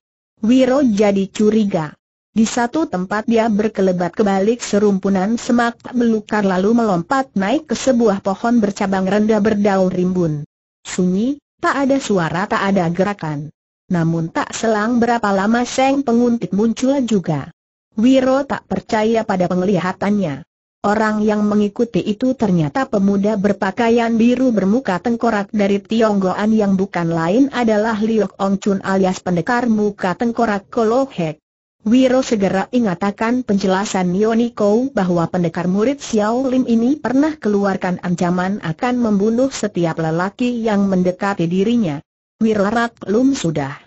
Liok Ong Chun sengaja menguntit dengan membekal maksud jahat sejak tadi dia sengaja tidak mau unjukkan diri. Pasti karena ingin mengetahui lebih dulu ke mana tujuanku, pikir Wiro. Mungkin juga dia sudah tahu kalau aku akan menemui paderi perempuan yang digilainya itu, Wiro menatap ke langit. Tengah malam, waktu perjanjian dengan Lo Nioniko hampir tiba jika mengurusi manusia satu ini bisa-bisa dia terlambat sampai di gedung kediaman Adipati tapi kalau tidak diurusi tetap saja Liok Ong Chun akan jadi penghalang. Wiro tidak mau kalau orang itu tahu ke mana dia pergi dan bertemu dengan Seng Padri. Wiro memutuskan untuk segera saja turun dari atas cabang pohon. Tapi belum sempat hal itu dilakukan satu cahaya hijau tiba-tiba memancar di bawah sana. Di lain saat satu sosok biru melesat ke udara lalu cahaya hijau berkiblat ke arah pohon di mana Wiro berada. Kraas, kraas luar biasa. Dalam waktu singkat daun pohon di balik mana Wiro berada tertebas seluruh dan melayang jatuh ke tanah. Setengah bagian dari pohon menjadi gundul. Keberadaan sosok Wiro di atas pohon yang tadi terlindung kini terlihat jelas. Sosok biru melesat ke tanah. Di bawah sana Liok Ong Chun berdiri dengan dua kaki merenggang sementara sebilah pedang hijau dimelintangkan di depan dada. Mulutnya mengumbar tawa bergelak manusia di atas pohon. Mengapa masih belum turuni apa baru mau turun kalau kutabas dulu batang lehermu dengan Cheng Choa Kiam walau pendekar 212 tidak mengerti apa yang diucapkan orang karena Liok Ong Chun bicara dalam bahasa Cina tapi Wirarak Lum kalau pemuda bertopeng muka tengkorak itu bicara dan mengejek dirinya. Tidak tunggu lebih lama Wiro segera melompat turun. Sebaliknya selagi Wiro melayang di udara Liok Ong Chun melompat ke atas. Pedang sakti di tangan kanannya membabat ganas, menebar cahaya hijau dalam jurus angker bernama Jai Hang Toh Te atau pelangi melengkung ke bumi. Cahaya hijau setengah lingkaran berkiblat menabas menyamping dari atas ke bawah, disertai suara bersuit ganas. Yang diincar adalah kepala dan tubuh pendekar 212. Sebelumnya Wiro telah melihat jurus serangan ini yaitu ketika Liok Ong Chun menghadap Inioni Kou digempur serangan hebat saat itu Seng Paderi tidak sampai celaka karena keburu ditolong dua anak kembar jejadian. Wiro tak mau berlaku ayal. Dengan cepat dia berkelebat ke samping sambil tangan kiri lepaskan pukulan tameng sakti menerpa hujan. Selarik angin deras melabrak Liok Ong Chun. Gerakan tubuh pendekar Tionggoan muka tengkorak ini menjadi goyang dan tertahan sedikit namun tangan kanannya yang memegang pedang masih mampu menyusup ke depan. Bertujung pedang ular hijau merobek lengan kanan baju putih Wiro. Wiro berseru kaget dan memaki dalam hati. Gila! Gebrakan pedangnya cepat sekali tenaga dalamnya juga tinggi pukulan saktiku tidak membuatnya mental. Begitu menjejakkan kaki di tanah, Liok Ong Chun kembali menyerbu. Seperti tadi gerakannya luar biasa cepat Tuiro sambut serangan lawan dengan tawa bergelak lalu membuat gerakan aneh. Dia keluarkan ilmu silat orang gila yang didapatnya dari kakek sakti bernama Tua Gila. Liok Ong Chun kerenyitkan kening sewaktu melihat sosok lawan bergerak perlahan, terhuyung ke kiri dan ke kanan, bergerak seperti mau terjerembab sementara dua tangan menggapai ke atas dan ke samping kepala mendongak dan mulut terus mengumbar tawa. Gerakan Wiro yang perlahan seolah berlaku ayal ini membuat Liok Ong Chun jadi penasaran. Dasar ilmu pedangnya adalah gerakan cepat sementara lawan melayani dengan gerakan perlahan. Dia merasa dalam waktu dua jurus saja dia akan mampu membacok kepala atau menabas tubuh Wiro. Liok Ong Chun menyerbu dengan jurus Yau Soan alias langit bergoyang bumi berputar. Pedang sakti warna hijau di tangannya melesat menggeletar laksana ular menyambar. Hei, Wiro mencibir. Kepala dimiringkan, dua lutut ditekuk. Pedang hijau meneru ganas setengah jengkal di depan kening pendekar 212. Setan. Aku mau lihat apa kau mampu menghindar dari jurus maut ini teriak Liok Ong Chun yang jadi marah karena selain diejek serangannya tadi berhasil dihindari lawan. Untuk kesekian kalinya pedang ular hijau membabat berkesyuran ke arah pinggang namun tiba-tiba serangan berubah menjadi satu tusukan. Luar biasa. Tidak gampang merubah babatan menjadi tusukan. Apalagi serangan itu dilakukan dengan kekuatan penuh dan kecepatan tinggi. Itulah salah satu jurus andalan ilmu pedang Liok Ong Chun yang disebut Chip Hian Chai Hon atau tiba-tiba muncul pelangi. Kaget pendekar 212 bukan alang kepalang. Senjata lawan tahu-tahu sudah menusuk ke arah dadanya. Tepat pada saat ujung pedang menyentuh pakaiannya, tubuh Wiro tiba-tiba meliuk ke kiri dan rebah ke belakang. Bersamaan dengan itu dua tangannya membuat gerakan seperti orang bertepuk. Badan pedang hijau terjepit di antara dua telapak tangan Wiro ketika tubuh Wiro jatuh punggung, senjata lawan yang ikut tertarik menancap menghujam di tanah. Liok Ong Chun berseru kaget bagaimana mungkin teriaknya heran. Di Tionggoan, tingkat kepandaian menarik pedang dengan dua telapak tangan seperti itu hanya bisa dilakukan oleh para tetua Xiao Lim apakah pemuda berambut gondrong ini lebih hebat dari tokoh Xiao Lim? Rasa kaget membuat Liok Ong Chun bedaku lengah. Dia tak sempat menghindar ketika dari bawah kaki kiri Wirla melesat ke atas, kirimkan tendangan yang dengan telak menghajar bahu kanannya. Liok Ong Chun berteriak kesakitan, memaki habis-habisan. Wiro melompat bangkit diam-diam dia merasa kagum orang lain jika ditendang seperti itu pasti sudah remuk tulang bahunya tapi Liok Ong Chun berteriak kesakitan lalu usap-usap bahu kanannya. Antara kita tidak ada permusuhan. Mengapa kau hendak membunuhku? Cemburu gila Liok Ong Chun yang tidak mengerti ucapan Wiro keluarkan kutuk serapah yang tidak dimengerti Wiro. Tindakan pemuda muka tengkorak ini ternyata tidak sampai hanya memaki. Tapi sambil melangkah ke hadapan lawannya dia lalu meludahi, muka Wiro. Dihina orang seperti itu membuat darah pendekar 212 jadi menggelegak. Ubun-ubunnya terasa panas. Seumur hidup belum pernah dia diperlakukan orang seperti itu. Dibarengi teriakan penuh amarah Wiro menerjang. Kalau tadi ketika mengeluarkan ilmu silat orang gila gerakan Wiro begitu lamban seperti orang mabok, kini tubuhnya seolah berubah menjadi bayang-bayang, dua tangannya lenyap dari pemandangan. Belum pernah Liok Ong Chun menghadapi lawan yang punya kemampuan ilmu silat tangan kosong begini hebat dengan cepat dia membuat gerakan perlawanan, lancarkan jurus-jurus pertahanan yang sesekali diseling serangan-serangan kilat dengan mengandalkan ketinggian tenaga dalam serta kecepatan gerak. Beberapa kali dua tangan mereka saling bersilang dan beradu sampai mengeluarkan suara keras. Setiap terjadi bentrokan tangan, Wiro terpental satu langkah, sebaliknya Aliok Chun hanya mengeluh kesakitan.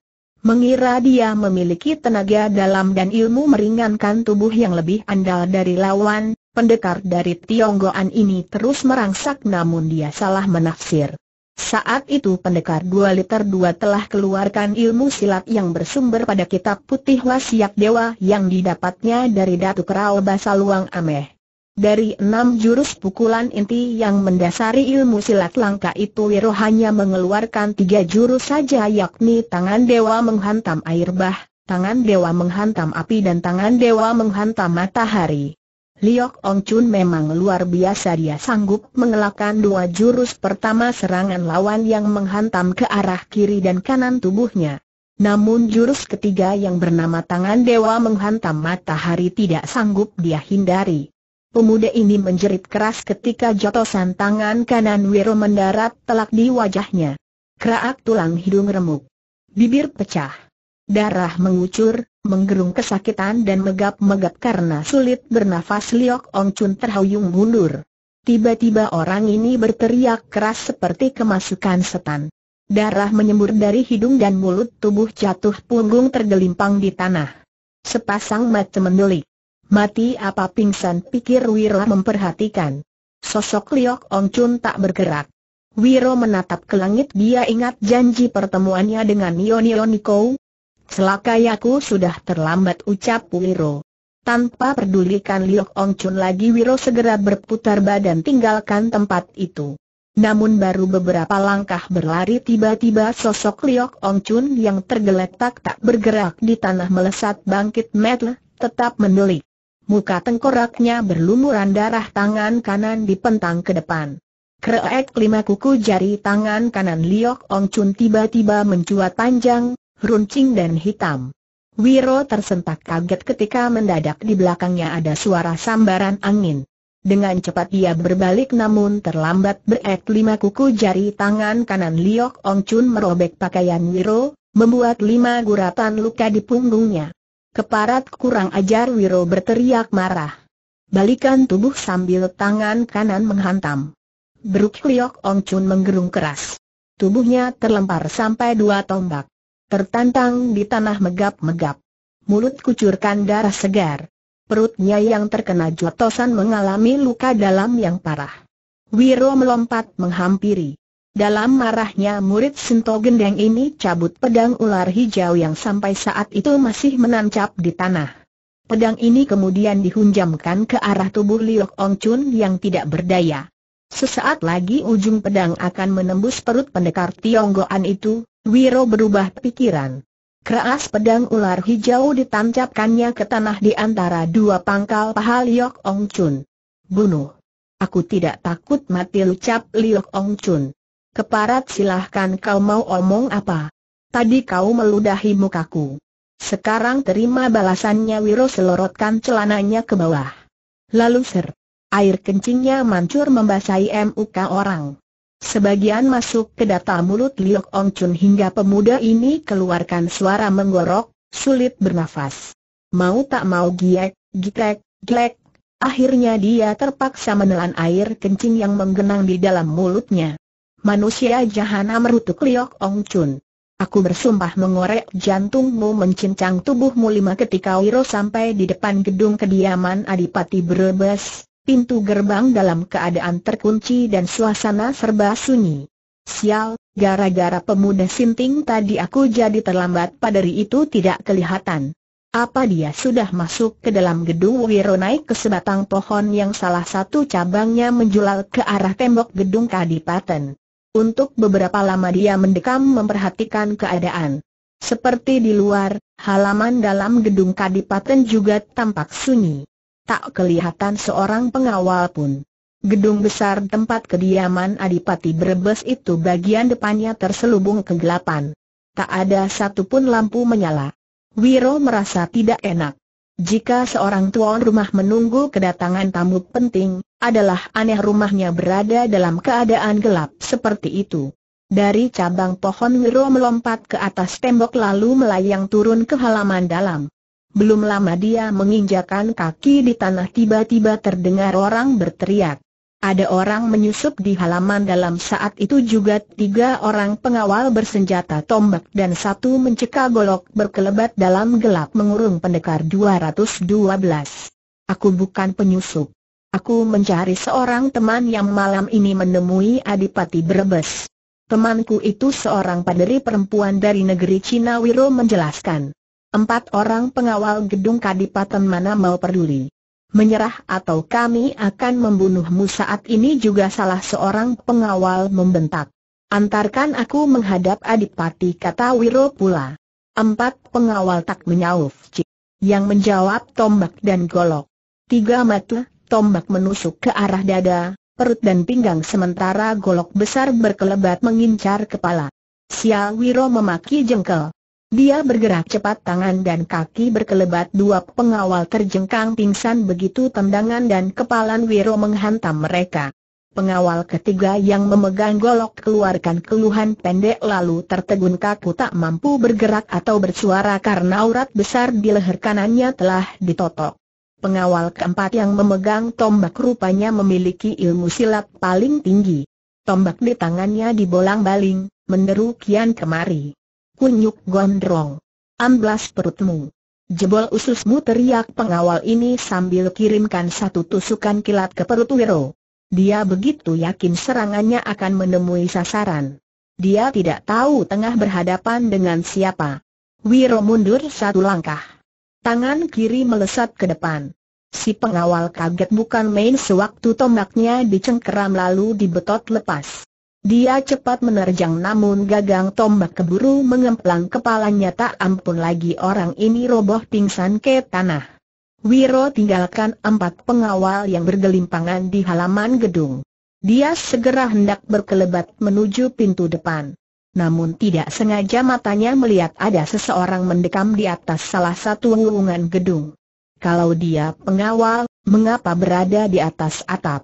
Kalau dia paderi perempuan itu mengapa bertamu di atas wuwungan, pikir Wiro. Bangunan gedung kadipaten memiliki beberapa wuwungan. Wiro melesat ke wuwungan paling rendah lalu melompat ke wuwungan yang lebih tinggi. Tak lama kemudian dia sudah berada di atas wuwungan di mana orang yang tadi dilihatnya dari bawah berada. Orang ini berpakaian jubah biru gelap. Saat itu dia tengah mengintip ke dalam bangunan lewat sebuah genteng yang sengaja dibuka. Demikian asiknya dia mengintip hingga tidak tahu kalau ada orang lain naik ke atas atap. Juga tidak mendengar teriakan-teriakan di bawah sana. Tanpa suara Wiro dekati si jubah biru. Wiro tepuk bahu orang ini lalu berkata, Sobat, kalau ada pemandangan bagus jangan dilihat sendiri. Bagi-bagilah, Kejut si jubah biru yang adalah kisentot balang nipa bukan alang kepalang. Cepat dia palingkan kepala. Keparat. Siapa kau kisentot balang nipa membentak. Dia memang sudah sering mendengar nama dan kehebatan pendekar 212 Wiro Sableng namun belum pernah melihat sendiri orangnya. Melihat tampang orang yang menyerupai muka kuda, pendekar 212 menyeringai eh, matamu ternyata cuma satu. Masih saja doyan mengintipi minggir sana, aku mau lihat apa yang sedang kau intip Wiro dorong bahu si jubah biru dengan pantatnya. Orang ini menggembor marah tubuh dibungkukan, kaki kiri menendang gerakannya cepat sekali. Wiro tersentak kaget bukan karena mendapat serangan mendadak begitu rupa, tapi ketika melihat keadaan kaki kiri orang itu yang berbentuk kaki kuda lengkap dengan ladam besinya Wiro jatuhkan diri sama rata dengan atap bangunan. Tendangan si jubah biru masih menyapu rambut di kepalanya. Sebelum sempat orang menarik kakinya Wiro cepat menjotos. Buk Kisentot Balang Nipa keluarkan gerung kesakitan. Tubuh melintir akibat jotosan yang melanda pangkal pahanya. Tampangnya berubah seperti kepala kuda. Dari bagian atas atap dia gulingkan diri, berusaha merangkul sosok pendekar 212. Wirorak lu melawan hendak mengajak jatuh bersama. Dengan cepat dia membuang diri ke samping kiri sambil tangan kanan melepas satu pukulan tangan kosong. Kisentot Balang Nipa kebutkan lengan jubah sebelah kanan dua kali berturut-turut Wiro terkejut kebutan lengan jubah lawan bukan saja membuyarkan pukulan tangan kosongnya tadi tapi dia juga merasakan tubuhnya laksana didorong sebuah batu besar. Karena kedudukan dua kakinya berada pada atap yang miring, dia tak mungkin bertahan. Wiro kerahkan tenaga dalam untuk melindungi diri.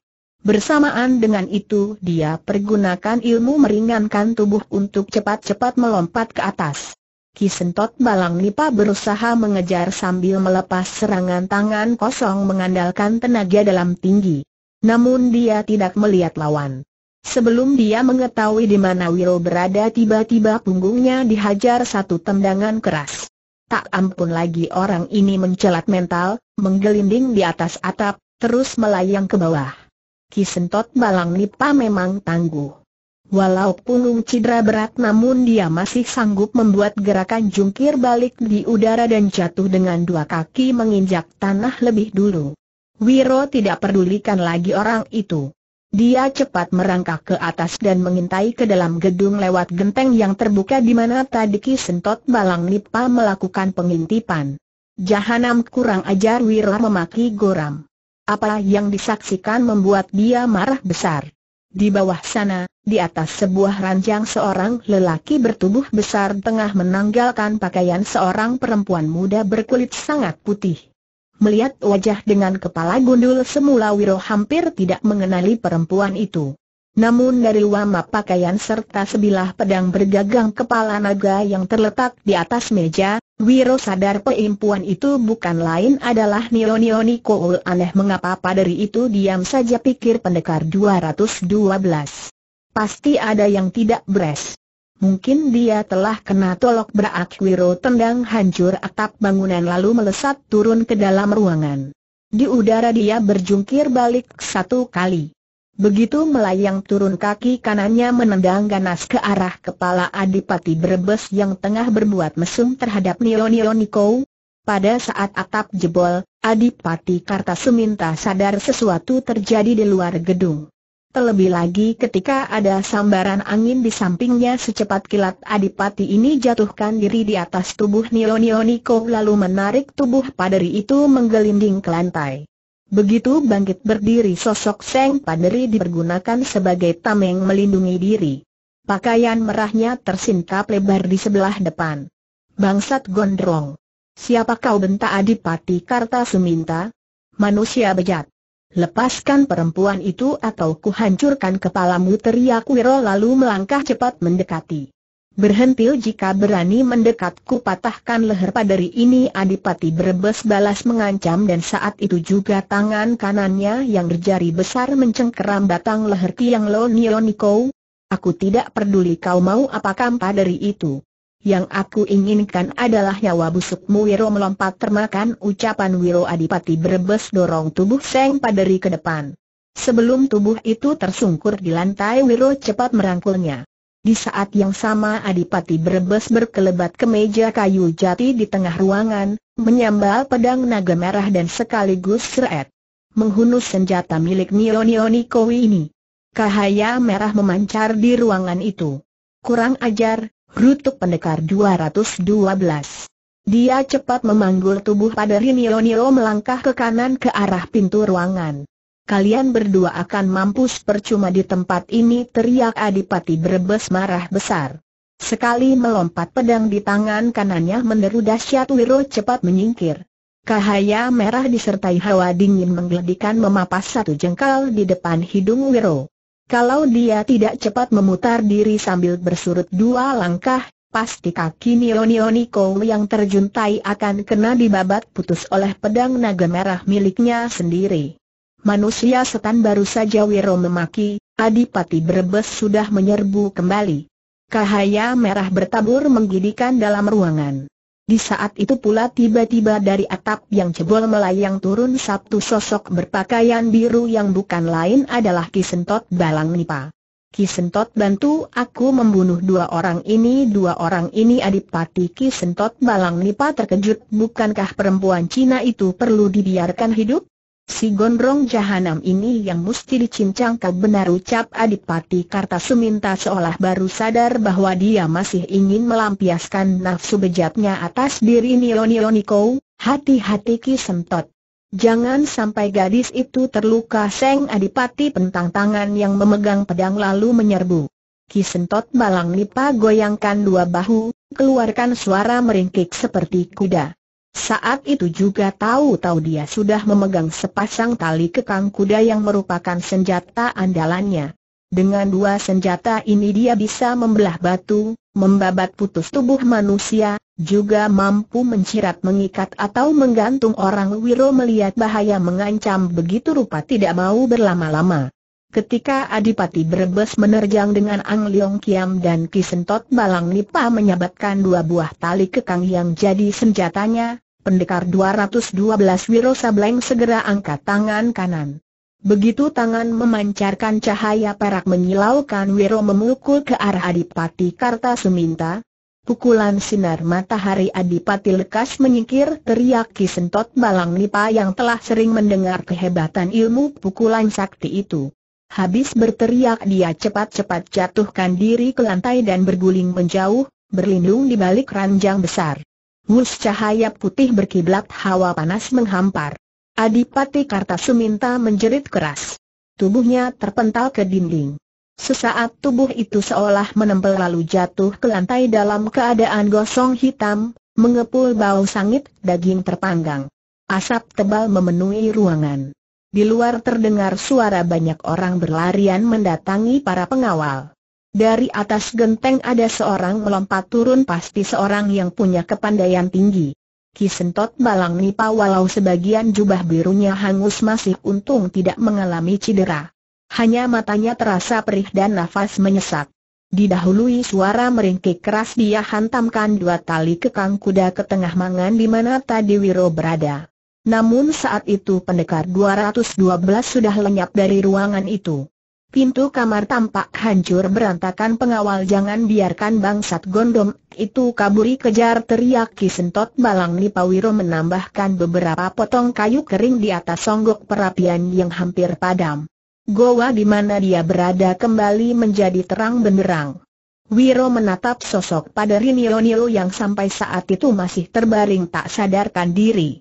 Wajah cantik dengan kepala gundul. Seng pendekar jadi tersenyum sendiri. Dia tidak pernah menduga kalau Nio Nio Niko berkepala gundul meski tanpa rambut namun kecantikan Nio Nio Niko tetap memukau. Aneh rasanya, lucu, ada perempuan cantik berkepala botak. Baru sekali ini aku melihat sambil senyum-senyum Wiro usap-usap kepala gundul Seng Padri. Tidak sampai di situ, Dasar jahil dia dekatkan mulurnya ke kepala Nionioniko lalu menjilat kepala botak itu eh, Asin Wiro tertawa sendiri. Sebelumnya Wiro telah memeriksa keadaan diri paderi itu. Tak ada tanda-tanda bekas totokan di tubuh Nionioniko. Dari bibirnya yang agak kebiruan Wiro menduga Nionioniko tak sadarkan diri akibat keracunan. Pasti ini pekerjaan Adipati Keparat itu, kata Wiro dalam hati karena itu dia segera menotok beberapa jalan darah di tubuh Nio Nio Niko agar racun tidak tembus ke dalam jantung dan masuk ke otak. Sampai menjelang pagi paderi itu masih belum sadar. Wiro jadi gelisah. Tiba-tiba dia ingat pada kitab seribu pengobatan yang ada dalam sebuah kantong kain dan disimpan di balik pakaiannya. Wiro segera hendak mengeluarkan kitab itu untuk mencari tahu care pengobatan yang bisa dilakukan guna menolong Nio Nio Niko. Seperti diceritakan dalam serial Wiro Sableng sebelumnya berjudul Api di Puncak Merapi dengan bantuan makhluk alam gaib yang diberinya nama Purnama, kitab tersebut berhasil didapatkan Wiro. Dalam kisah ini sebenarnya Wiro dalam perjalanan menuju puncak Gunung Gede untuk menyimpan kitab tersebut di satu tempat yang aman karena seperti diketahui pondok kedamaian Sinto Gendeng telah roboh berantakan sewaktu terjadi perkelahian antara si nenek dengan tua gila. Kemudian Sinto Gendeng menghancurkan sendiri pondok itu hingga musnah sama rata dengan tanah. Bakal serial Wiro Sableng dalam episode Nyi Bodong, belum sempat Wiro mengeluarkan kitab seribu pengobatan tiba-tiba dia melihat kaki kiri Nio Niko bergerak. Wiro cepat simpan kitab seribu pengobatan ke balik pakaian. Dia pegang urat besar di atas tumit kiri Seng Padri. Terasa hangat tanda jalan darahnya mulai lancar. Wiro lalu alirkan hawa sakti ke dalam tubuh Nio Niko lewat pegangan pada pergelangan tangan kanan. Sesaat kemudian keluar suara mendesah halus dan mulut Nilo Nilo Niko menyusul perlahan-lahan membukanya kedua matanya. Saudara Wio, kata-kata itu terucap sambil mata menatap sayur pendekar 212. Lalu Nilo Nilo Niko perhatikan tangannya yang dipegang Wiro. Kemudian melirik ke atas, memandang ke kiri dan ke kanan lalu menatap ke arah perapian dan akhirnya kembali memandang Wiro. Saudara Wiye, kita berada di mana? Padre itu tarik tangannya yang dipegang Wiro. Ketika dia memperhatikan dirinya kejutnya bukan olah-olah. Wajahnya mendadak sontak menjadi bersurut menjadi merah. Nio Nio Niko serta Maria bangun dan duduk lalu tersurut menjauhi Wiro sampai punggungnya menyentuh dinding gua. Saudara Wiye, apa yang terjadi? Apa yang kau lakukan terhadap kutanya Loni Niko? Tangan kiri menutup dada pakaian yang tersingkap, tangan kanan meraba ke punggung. Karena Wiro tak segera menjawab paderi perempuan itu bangkit berdiri. Sepasang matanya membesar, memandang tak berkesip ke arah Wiro. Di mana pedangku tiba-tiba ada seseorang M muncul di mulut gua. Orang yang datang ini keluarkan ucapan. Leon Nio bangsat berambut gondrong ini barusan hendak memperkosamu. Untung aku datang. Dia pula yang telah mencuri pedang naga merah milikmu. Senjata itu disembunyikannya di satu tempat kasaksikan sendiri apa yang telah dilakukannya terhadapku orang yang bicara melangkah masuk sehingga wajah dan sosoknya kelihatan jelas diterangi nyala perapian. Kiang Lo Nioniko menjerit keras. Wiro tidak tahu apa yang diucapkan orang di mulut Goa karena dia berkata dalam bahasa Cina. Namun melihat keadaan Seng Paderi yang mendadak tampak marah besar seperti mau menerkamnya Wiro yakin orang di mulut Goa telah mengatakan sesuatu yang dahsyat. Tanpa berpaling, dari suaranya saja Wiro sudah mengenali. Orang itu bukan lain adalah Liok Ong Chun. Saudara Wie. Benar, benar-benar apa Nio Nio kau hendak memperkosaku? Kau mencuri pedang naga merah Nio Nio, Aku belum gila melakukan hal bejat itu pasti bangsat muka tengkorak ini mengarang cerita mengumbar mulut fitnah dia hendak menarik perhatianmu. Leonio, apa pun yang dikatakannya jangan percaya demi cintaku padamu aku akan membunuhnya saat ini juga. Apakah kau tidak akan membantuku menghajar orang yang hendak mencelakai dirimu ini Liok Ong Chun cepat keluarkan ucapan karena merasa orang tengah berusaha membela diri. Selesai berucap Liok Ong Chun cabut pedangnya. Leon Nioniko meraba ke pinggang, mencari suling perak. Tapi benda itu tak berhasil ditemukan. Dia mengusap muka meraba kepala dan jadi terpekik ketika menyadari bahwa topi sekaligus cadar yang menutupi kepala serta wajahnya tak ada lagi. Dengan cepat paderi ini robek ujung bawah kiri kanan pakaian merahnya. Robekan kain yang cukup lebar ini dijadikannya dasar penutup kepala serta cadar pelindung wajah. Dengan mata menyorot Lo Nioniko memandang ke arah pendekar 212. Saudara Wia aku tidak menyangka begitu bejat budi pekertimu. Aku mengira kau seorang sahabat yang bisa dimintai tolong. Ternyata kau iblis terkutuk Nionio, dengar dulu keteranganku, ucap Wiro. Aku tak butuh keterangan. Aku ingin membunuhmu saat ini juga Lo Nioniko berteriak keras lalu menerjang. Walau cuma mengandalkan tangan kosong namun dengan ilmunya yang tinggi dua tangan bisa seganas senjata tajam atau pentungan besi. Celaka kenapa bisa jadi begini ucap pendekar 212 dia cepat rundukan kepala. Pukulan Lo Nioniko menghantam dinding gua. Dinding berupa batu keras itu hancur, bolong besar gila Wiro kembali memaki. Sementara dari kanan Liok Ong Chun putar tangannya yang memegang pedang. Wut pedang ular hijau menyambar. Cahaya hijau berkiblat Wiro jatuhkan diri ke lantai gua sambil dua tangannya menyambar dua kayu perapian.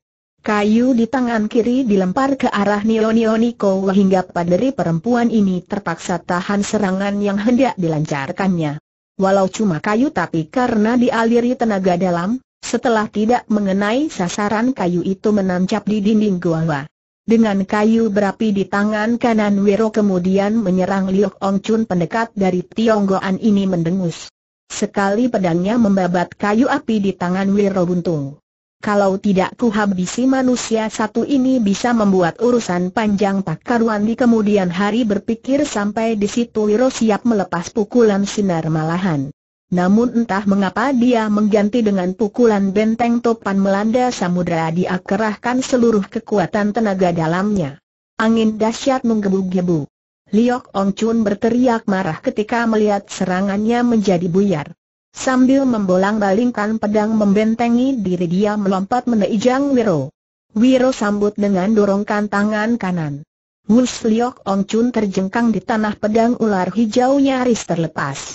Wiro melompat di atas tubuhnya, melesat keluar goa. Wong Chun berusaha membabat kaki Wiro namun dadanya keburu sesak. Lalu pemuda Tionggoan ini semburkan darah kental. Dia termasuk hebat orang lain yang terkena hantaman pukulan benteng topan melanda samudera berkekuatan tenaga dalam penuh pasti sudah remuk sekujur tubuhnya. Manusia pengecut. Kau bisa lari sekarang. Aku akan mencarimu sampai ke ujung dunia teriak Kiang Lo Nioniko. Padri Nionio. Jangan menuduh aku pengecut di kegelapan malam di luar goa terdengar suara Wiro menyahuti teriakan Seng Padri, Aku terpaksa pergi karena kau lebih percaya pada pemuda busuk muka tengkorak itu daripada diriku. Jika kau ingin tahu apa yang terjadi pergilah menyelidik ke gedung Kadipaten Brebes. Aku telah membunuh Adipati Kartasuminta demi menyelamatkan dirimu dari perbuatan kejamnya dusta teriak Loni Maniko. Dalam keadaan masih marah dia berkelebat hendak mengejar. Tapi Liok Ong Chun mencegah. Manusia satu itu sangat berbahaya. Biarkan dia pergi, OIA tidak akan iolos dari tanganku. Demi dirimu aku bersumpah akan menabas leh pemial Lonil, mungkin ini saat yang baik bagi kita untuk bicara mengingat dan merasa orang telah menolong dirinya, walaupun tidak suka pada pemuda itu namun akhirnya Lo Nioniko masuk kembali ke dalam goa dan duduk di lantai. Ong Chun, ceritakan apa yang sebenarnya terjadi di tempat ini. Tapi tunggu, Seng Paderi perhatikan wajah Liok Ong Chun yang masih ada noda-noda darah di bagian bawah hidung dan sekitar bibir. Aku melihat noda darah di wajahmu. Suaramu sengau seperti ada yang mengganjal di hidungmu. Sesuatu terjadi atas dirimu sebelum kau berada di tempat ini, Liok Ong Chun jatuhkan diri ke lantai goa, duduk bersimpuh lalu mengarang cerita Nam Lo Nio, Liok Ong Chun mulai dengan kebohongannya. Kau tahu bagaimana besarnya cintaku padamu. Sampai-sampai aku rela bunuh diri bahkan di luar sadarku aku bicara kasar padamu. Bukan itu saja, aku sampai ingin mati berdua bersamamu. Untuk semua itu aku sangat menyesal dan mohon maafmu. Aku tahu Kasudi dan mau memaafkan diriku, teruskan bicaramu. Yang sudah berlalu aku tidak keliwat memikir. Yang aku ingin tahu apa sebenarnya yang telah terjadi. Benar pemuda berambut gondrong itu hendak merusak kehormatanku kau mungkin tidak percaya. Lihat wajahku Lonio. Bibirku pecah, tulang hidung patah. Aku menderita luka di dalam. Itu yang telah terjadi dengan diriku sebelum memergoki manusia keparat itu melakukan perbuatan keji atas dirimu di gua ini. Sejak peristiwa di telaga, aku selalu memata-matainya. Bukankah aku pernah mengeluarkan ucapan akan membunuh siapa saja lelaki yang berani mendekatimu? Malam tadi aku mencegatnya di satu tempat dia langsung menyerangku. Aku harus mengakui dia memiliki ilmu silat dan kesaktian sangat tinggi. Ilmu pedangku tidak berdaya. Kekuatan tenaga dalam dan hawa saktiku tidak mampu menandinginya. Aku dihajar begini rupa. Tidak apa. Cepat atau lambat dia akan menerima balasan dariku. Selain itu dia berkelahi secara licik. Oh ia menghajarku lalu kabur begitu saja. Ada satu hal yang membuatku sangat sakit hati. Kau tahu apa yang dikatakannya sebelum pergi mana aku tahu. Memangnya dia bicara apa tanya Lo Nioniko pula. Katanya aku tak berakal mendapatkan dirimu karena kau telah tergila-gila padanya. Kau akan menjadi miliknya. Kalau sudah dapat kau akan ditelantarkan lalu ditinggalkan dia akan mempermainkan dirimu secara kecil. Dia berkata aku tidak akan mendapatkan dirimu sebagai seorang gadis utuh karena dia akan menodai dirimu lebih dulu. Aku akan mendapat sisanya. Kurang ajar sekali Lo Nioniko jadi terbakar amarahnya, tidak ada seorang pun lelaki yang bisa memperlakukan aku seperti itu. Seng Padri menatap wajah tengkorak pemuda di hadapannya beberapa lama. Membuat Liok Ong Chun merasa tidak enak. Ong Chun, aku percaya pada ceritamu tentang perkelahianmu dengan pemuda itu. Namun aku merasa heran. Setahuku kau tidak mengerti bahasa orang di sini. Bagaimana kau tahu semua kata-kata yang diucapkan pemuda itu lalu menceritakannya padaku di balik topeng wajah Liok Ong Chun menjadi sangat merah. Dia tampak salah tingkah tapi masih bisa berdalih. Aku memang tidak mengerti bahasa yang diucapkannya. Tapi dari gerak-gerik serta sikapnya aku tahu apa yang dibicarakannya, kau hebat sekali. Aku tidak tahu kau punya kepandaian mengartikan ucapan orang dari gerak-geriknya, kata Lo Nioniko sambil tersenyum, entah memuji entah mengejek. Selama aku masih hidup, dia tidak bakal dapat mencelakai dirimu. Aku bersumpah akan melindungimu setiap saat Lo Nioniko tidak peduli ucapan Ong Chun. Selain itu, melihat bagaimana pendekar 212 Wiro Sableng telah menggebuk pemuda muka tengkorak ini, jelas Song Chun terlalu takabur.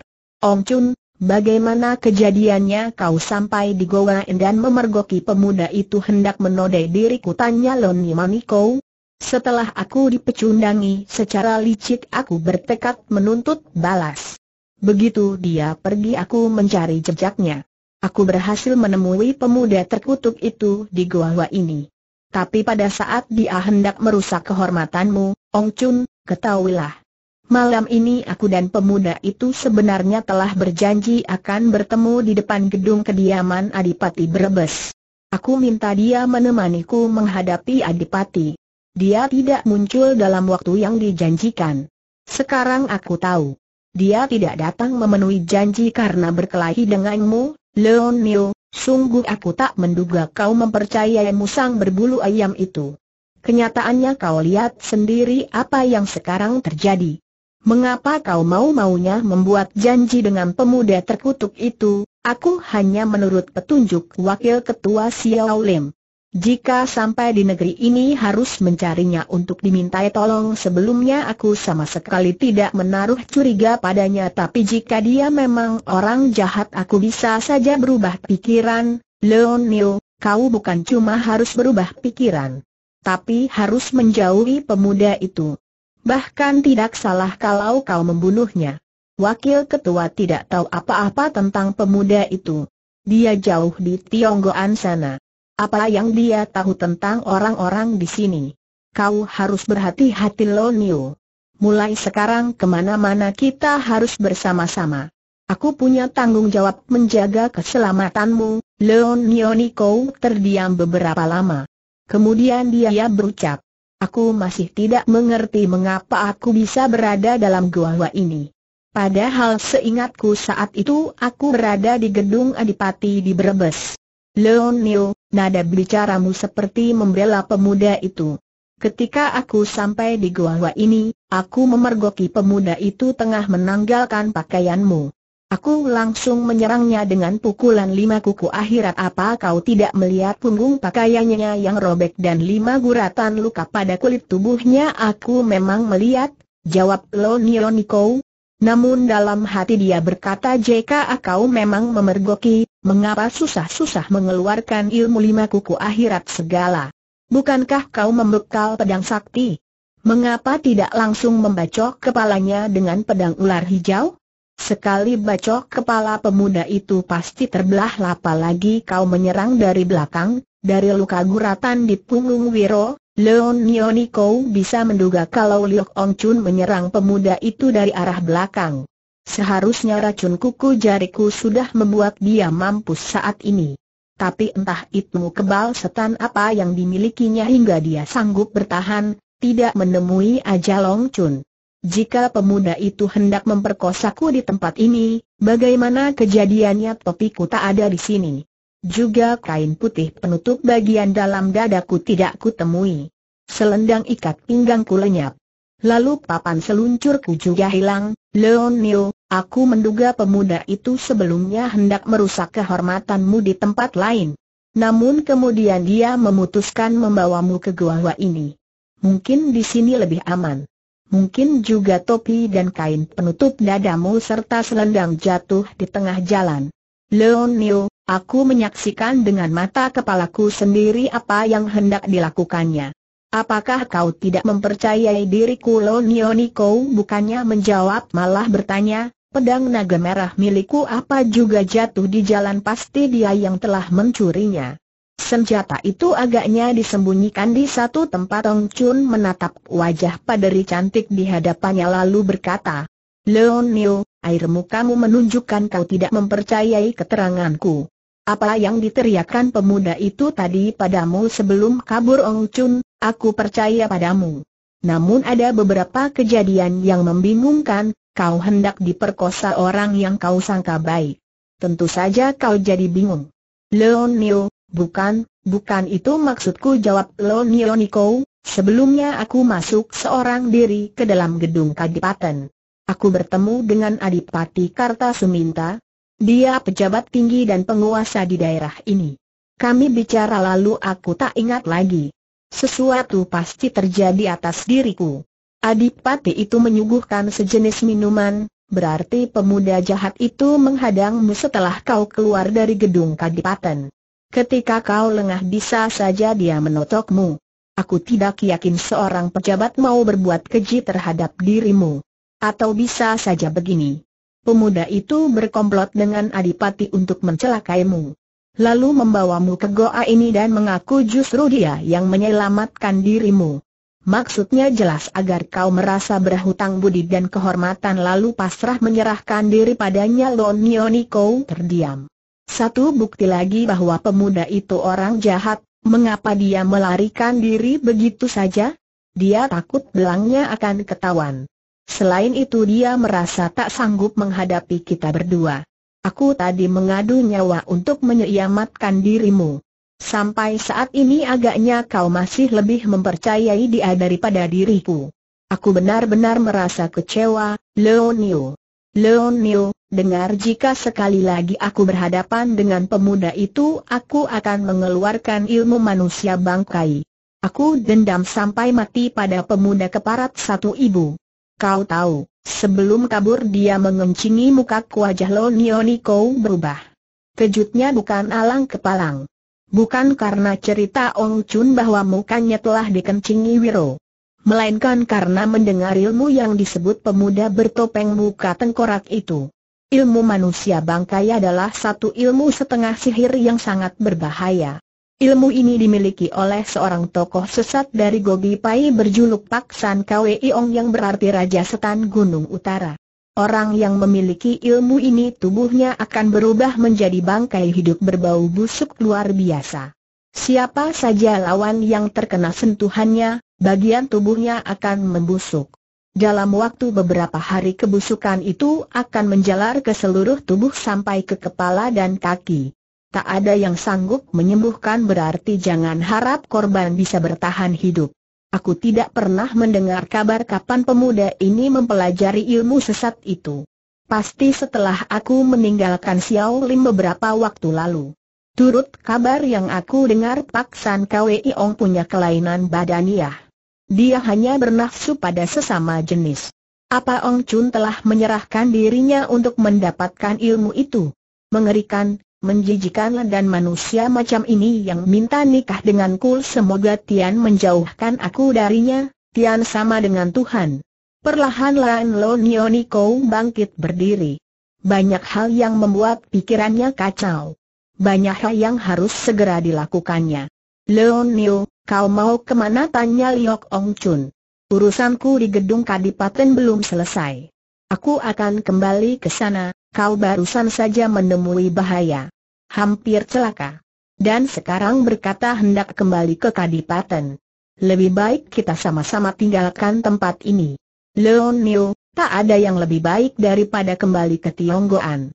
Kita menikah di sana, manusia satu ini benar-benar keras kepala, kata Leon Niko dalam hati. Lalu dia berucap, kau mungkin lupa. Aku pernah menerangkan ada tugas yang harus aku laksanakan dari wakil ketua Xiao Lim. Aku akan pulang bila semua tugasku selesai. Lagi pula aku harus menemukan Ang Leong Kiam kembali. Senjata itu sama nilainya dengan nyawaku. Aku juga harus mencari topi selendang serta papan seluncurku suling peraku aku bosan mendengar ceritamu itu. Tugas, tugas. Kalaupun kau berhasil dalam tugasmu Xiao Lim tidak akan menjadikanmu pahlawan besar, dalam menjalankan tugas apa pun, dari siapa pun aku tidak pernah memikir akan jadi pahlawan, kata Lo pula. Lalu dia meneruskan. Kalau kau bosan, tak usah kau dengar semua ucapanku, Leonio, mengapa kau jadi begitu keras kepala? Aku ingin menyelamatkanmu dari bencana. Ah, aku khawatir. Jangan-jangan kau telah tertarik pada pemuda berambut gondrong itu, di balik kain merah penutup muka, wajah Lo Nioniko menjadi merah oleh ucapan pemuda muka tengkorak. Tanpa banyak bicara lagi dia segera tinggalkan tempat itu. Liok Ong Chun sesaat tertegun lalu berteriak keras dan memukul dinding goa dengan tangan kanan hingga hancur berantakan. Gadis itu sudah tergerak hatinya padaku tapi kini setan gondrong keparat itu yang jadi ganjalan. Jangan-jangan Lon Nio sudah kena guna-gunanya. Aku banyak mendengar cerita. Negeri ini penuh dengan seribu satu macam ilmu guna-guna ilmu pelet habis memukul dan memati Liok Ong Chun keluar dari gua. Dia masih sempat melihat bayangan Lo Nioniko lalu mengajar ke arah larinya padari itu ketika Wiro kembali ke gedung Kadipaten Brebes, malam hampir sampai di penghujungnya. Keadaan gedung terang benderang. Lampu menyala di mana-mana di bagian dalam dan luar gedung terlihat banyak orang. Di pintu gerbang selusin prajurit pengawal berjaga-jaga. Di halaman dalam belasan pengawal tampak mundar-mandir. Di luar tembok pagar halaman hampir dua puluh pengawal melakukan penjagaan. Wiro berpikir mencari akal bagaimana caranya agar bisa masuk ke dalam tanpa menarik perhatian atau dicurigai. Dia punya dua tujuan kembali ke gedung itu. Pertama untuk mencari dan mendapatkan kembali pedang naga merah, topi serta suling perak milik Nio Nio Niko. Kedua menyelidik keterlibatan Adipati Brebes dalam kematian yang sepuh kembar Tilu. Leon Nionikowick pernah cerita bahwa dia ingin menemui Adipati Brebes untuk mencari tahu keberadaan dua buah dado mustika. Paderi ini mengatakan bahwa saat itu Adipati Kartasu minta satu-satunya sumber petunjuk keberadaan dua buah dadu. Sementara itu sebelum menemui ajal yang sepuh kembar Cilu minta Wiro agar mendapatkan dua buah dadu itu. Di kamar di mana Seng Adipati hendak menggagahi Lo Nioniko Wiro sempat melihat sehelai jas hitam terletak di atas kursi. Wiro keluarkan kancing baju besar yang diberikan Eyang kembar Cilu padanya. Menimang-menimang kancing itu beberapa lama Lo memasukkannya kembali ke balik pakaiannya. Jika kancing ini tangga dari jas milik Adipati Brebes, berarti dia yang membunuh nenek aneh itu. Ku yang perlu ku selidiki, selagi berpikir-pikir seorang pengawal lewat di depan Wiro, tengah melangkah ke arah pintu gebang, membekal sebilah tombak, Wiro mengukur-ukur. Pengawal ini memiliki ukuran badan menyerupai dirinya. Celana dan bajunya pasti muat, ucap Wiro dalam hati. Lalu dia mendekati Seng pengawal. Pengawal, ada orang dibunuh di balik semak belukar sana si pengawal hentikan langkah, menatap Wiro sejurus lalu memandang ke arah semak belukar di kejauhan yang ditunjuk Wiro. Kau siapa? Siapa yang dibunuh? Pengawal bertanya. Saya Ngamino, petani dari Dukuh Turi. Yang dibunuh sepertinya seorang prajurit Kadipaten, jawab Wiro. Hah Seng pengawal kaget lekas antarkan aku ke sana ba, baik. Tapi kau jalan lebih dulu. Aku takut prajurit itu mati dengan lidah mencelet dan mata mendelik, Wiro berkata sambil mendorong punggung si pengawal. Hasib pengawal melangkah cepat ke arah semak belukar. Wiro mengikuti dari belakang. Sampai di balik semak belukar si pengawal memeriksa lalu berpaling pada Wiro tak ada mayat. Tak ada siapa-siapa di tempat ini memang tak ada siapa-siapa di sini jawab Wiro sambil menyengir. Kurang ajari aku sedang bertugas dan kau mempermainkan aku si pengawal marah sekali lalu angkat tombaknya. Tidak, aku tidak mempermainkanmu. Aku cuma mau pinjam pakaianmu setan alas makian si pengawal terputus. Totokan yang dihujamkan Wiro ke pangkal lehernya sebelah kiri membuat pengawal itu langsung kaku dan gagu. Wiro tarik orang ini ke balik samak belukar tujuh dengan menyamar sebagai prajurit kadipaten, mengenakan pakaian pengawai curian di atas pakaian putihnya, membawa tombak Wiro melewati pintu gerbang gedung kadipaten tanpa kesulitan. Rambutnya yang panjang digulung lalu ditutupi topi besar. Saat itu menjelang pagi. Udara terang-terang tanah. Di dalam gedung orang banyak sekali. Di sebuah ruangan besar jenazah Adipati Kartasuminta dibaringkan di atas ranjang besar kasur tebal diselimuti kain sutra halus. Beberapa orang laki dan perempuan duduk bersimpuh mengelilingi ranjang. Yang lelaki unjukkan wajah sedih, yang perempuan menangis. Mereka adalah kerabat dekat mendiang Adipati Kartasuminta, Wiro melangkah sepanjang sisi dinding mangan. Dia berusaha mencari di mana letak kamar tidur Adipati Karta Suminta. Setelah berputar-putar cukup lama akhirnya Wiro berhasil juga menemukan kamar itu. Di depan pintu kamar ada seorang pelayan perempuan gemuk pendek menunggui. Seorang pengawal bicara dengan pelayan perempuan itu lalu pergi. Wiro segera mendekati si pelayan. Saya ditugaskan memeriksa kamar tidur Adipati. Mungkin pembunuh Adipati masuk ke sini dan meninggalkan tanda-tanda yang bisa dijadikan pengusutan. Saya merasa tidak enak kalau memasuki kamar tanpa ada yang menyaksikan. Saya tidak mungkin meminta izin istri Adipati yang sedang berduka, pelayan perempuan bertubuh gemuk pendek itu perhatikan Wiro beberapa lama. Hi, aku tidak pernah melihatmu sebelumnya, Seng pelayan keluarkan ucapan. Suaranya bernada heran tapi juga ada rasa curiga. Wiro tersenyum. Saya pengawal baru di sini. Baru datang kemarin dari Slawi, walau baru adalah aneh kalau di situ tidak tahu bahwa Adipati Kartasuminta tidak punya istri. Ah, Wiro tertawa. Terjebak aku katanya dalam hati. Soal atasanku punya istri atau tidak, atau punya istri banyak, Apakah saya harus bertanya padanya atau menggunjingkan dengan orang lain? Mbok, saya masih banyak tugas lain. Saya minta diizinkan masuk sekarang juga, si pelayan akhirnya membuka pintu kamar.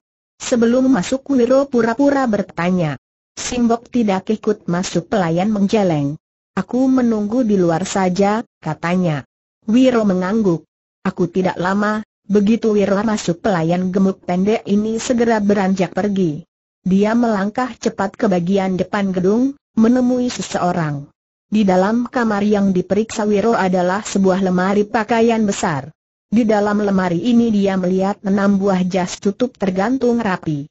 Wiro cepat memeriksa kancing setiap jas.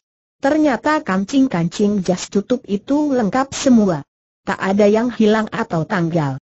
Wiro keluarkan dari saku pakaiannya kancing baju yang didapat dari Eyang Sepuh Kembar Tilu. Salah satu jas tutup yang ada dalam lemari itu memiliki kancing yang sama bentuk serta warnanya tapi semua kancing-kancing jas tutup itu lengkap, tak ada yang tanggal. Mungkin saja kancingnya sudah diganti, pikir Wiro. Mungkin juga memang bukan dia pembunuh nenek aneh itu, Wiro hendak menutup pintu lemari pakaian. Namun dia ingat sesuatu. Jas tutup berkancing sama dengan yang ada padanya diperiksa kedua sakunya dalam salah satu saku Wirla menemukan sebuah kantong kecil, terbuat dari kain berwarna hitam. Kantong ini kosong, tak berisi apa-apa Wiro menimang-nimang kantong itu sambil berpikir-pikir, akhirnya kantong kain hitam dimasukkan ke dalam saku pakaian. Lalu dia cepat-cepat melangkah ke pintu. Namun begitu pintu dibuka langkah Wiro serta merta tertahan, di hadapannya berdiri dua orang dengan sikap menghadang. Orang pertama, berdiri di sebelah kanan adalah si muka kuda jubah biru mata satu kisentot balang nipa. Orang ini menyeringai lalu keluarkan ucapan. Menyamar jadi pengawal kau kira kami ini orang-orang tolol pemuda keparat. Pembunuh Adipati Karta Suminta? Lancangnya kau memasuki kamar mendiang Adipati. Apa yang kau lakukan di dalam sana Wiro melirik pada sebilah pedang bersarung yang dipegang Kisentot Balang Nipa. Dia segera mengenali. Pedang itu adalah Ang Leong Kiam milik Nio Nio Niko. Di pinggang Kisentot tersisip sebuah suling perak. Benda ini juga adalah milik Seng Padri. Wiro menyeringai sadar kalau orang sudah mengenali siapa dirinya Wiro tanggalkan topi besar di kepala.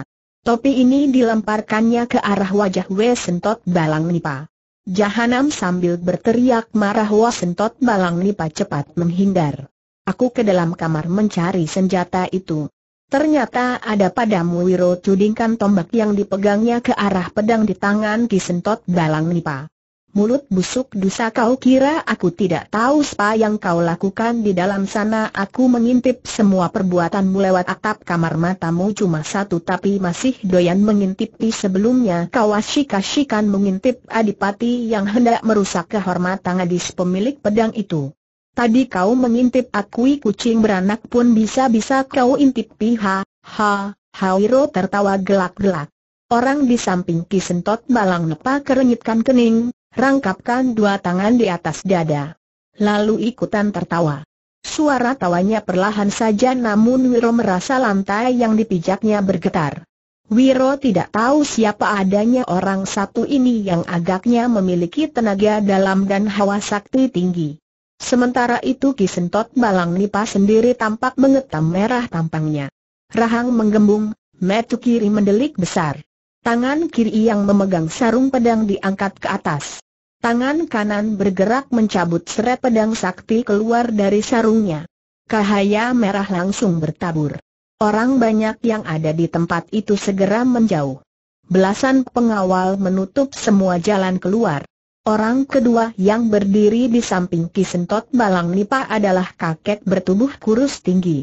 Sepasang daun telinganya sangat lebar, mengingatkan Wiro pada daun telinga sobatnya, si kakek berjuluk setan ngompol. Orang ini mengenakan jubah hitam gombrang menjela lantai. Rambut panjang kasar seperti ijuk berwarna biru. Sepasang alis juga berwarna biru sementara dua bola mata berwarna kelabu pekat pendekar 212. Kau boleh menyandang nama besar dan punya nyali setinggi langit apa tidak mengerti kalau kau cuma punya satu nyawa orang yang tidak dikenal Wiro itu membuka mulut sambil goleng-goleng kepala. Namanya Walang Gambir. Dalam rimba persilatan tanah Jawa dia dikenai dengan julukan Kobra Bini. Wiro menggaruk kepala. Sambil senyum cengengesan dia berkata orang gila pun tahu kalau setiap manusia cuma punya satu nyawa. Mungkinkah satu-satunya manusia yang punya nyawa satu setengah kisentot balang nipa menyeringai. Pedang naga merah dimelintang di depan dada. Pendekar 212. Ternyata kau memang orang Sabuleng yang pandai melucu. Dengar baik-baik. Jika kau sudi menyerah, umurmu mungkin bisa kami perpanjang barang satu hari ucap kakek bertampang kuda. Dia sudah tahu kehebatan Wiro bahkan sebelumnya sempat dihajar pendekar ini. Itu sebabnya dia mencoba menghindari perkelahian walau saat itu di sampingnya ada seorang sobat berkepandaian tinggi yang bisa diandalkan. Selain itu Kisentot Balang Nipa juga ingin mengorek keterangan dari Wiro. Waktu mengintip dari atas atap tadi dia melihat pemuda itu mengambil sesuatu dari kantong jas tutup milik mendiang Adipati Karta Suminta. Soal menyerah gampang-gampang saja, sahut pendekar 212. Tapi serahkan dulu padaku pedang itu. Senjata itu bukan milikmu. Kau mencurinya lantas apakah kau merasa pedang ini milikmu hingga kau lancang berani meminta tukas kisentot dalang nipa.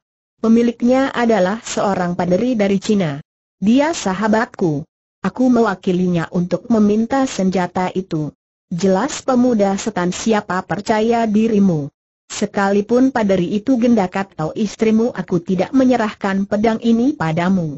Tapi jika kau memaksa meminta silahkan mengambil habis memaki sentot balang lipat gerakan tangan yang memegang-megang pedang. Wut sinar merah menebar ganas, mengeluarkan hawa dingin. Wiro angkat tangan kanannya yang memegang tombak. Terang seperti menahas ranting kering pedang sakti membabat buntung tombak besi di tangan Wiro. Selanjutnya secepat kilat ujung pedang menyambar dalam gerakan membalik. Tinggal sepertiga jengkal ujung senjata itu berada di depan leher Wiro tiba-tiba Wiro dan Kisentot Balang Lipas sama-sama terpental. Wiro topangkan tangan ke lantai agar tidak terbanting jatuh. Dadanya terasa sesak. Dia cepat mengatur jalan darah dan melompat bangkit. Sebaliknya Kisentot Balang Lipas sudah lebih dulu jatuh terjengkang.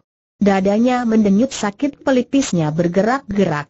Apa yang terjadi apa yang menyebabkan kedua orang itu terpental? Ada yang tidak beres membatin walang gambir yang bermata tajam. Dia berbisik pada Kisentot amankan pedang, lalu dia melompat ke hadapan pendekar 212. Anak muda, kau mau menyerah atau ingin mampus saat ini juga tua bangka jelek kau ingin sekali melihat aku mati. Melihat tampangmu pun baru hari ini kalau aku mampus apa kau mau ikutan darah walang gambir alias kobra biru menggelegak tapi dia masih bisa menguasai diri. Berlututlah minta ampun. Kami akan mengampuni selembar nyawa busukmu tua bangka jeleki bicaramu sombong amat. Apa kau tidak melihat malaikat maut sudah berdiri di sampingmu, siap hendak menjemput kau punya nyawa setan kurang ajar walang gambir marah sekali. Tapi dia berlaku cerdik. Tak mau gegabah. Dia pergunakan tangan orang lain terlebih dahulu. Kisentot habisi bangsat ini dengan pedang naga merah di tangan Kisentot Balang Nipa menerjang sampai dia melakukan serangan ini dia masih tidak mengerti apa yang membuat dia tadi mental. Dengan mengerahkan seluruh tenaga dalam yang dimilikinya dan dialirkan ke tangan yang memegang pedang, Lelaki bermata satu ini bacokan senjata milik Lo Nioniko itu ke arah kepala pendekar 212. Wiro cepat melompat mundur. Lawan mengejar dengan garang. Wut seperti tadi, hanya tinggal sedikit lagi pedang sakti itu akan membelah batok kepala Wiro, tiba-tiba kisentot balang nipa mengeluh pendek. Cahaya merah yang memancar dari pedang naga merah meredup lalu senjata ini terpental membal ke belakang.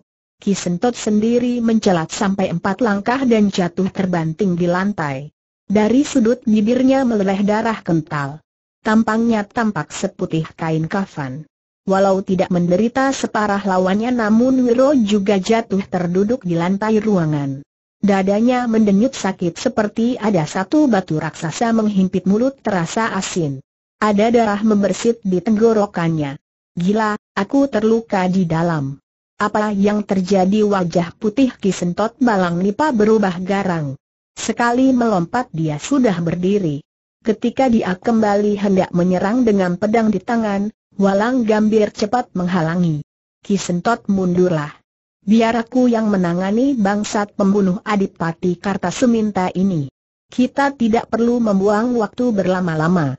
Kalau kita sudah memutuskan dia harus mati, dia memang harus mampus kalau bukan walang gambir yang melarang Kisentot Balang Nipa pasti tidak mau peduli. Amarah dan dendamnya terhadap Wiro bukan alang kerayang. Pemuda terkutuk. Menurut aturan K seharusnya dihukum gantung karena telah membunuh Adipati Karta Suminta, tapi aku akan mempercepat kematianmu lihat wajahku walang gambir sorongkan kepalanya ke depan. Wajahmu jelek kata Wiro pula. Walang gambir tidak pe, duikan ejekan orang. Begitu selesai berucap dia usapkan tangan kiri ke wajah. Des terdengar satu letupan halus disertai kepulan asap tipis berwarna biru. Lalu set, leher walang gambir saat itu juga menjadi panjang.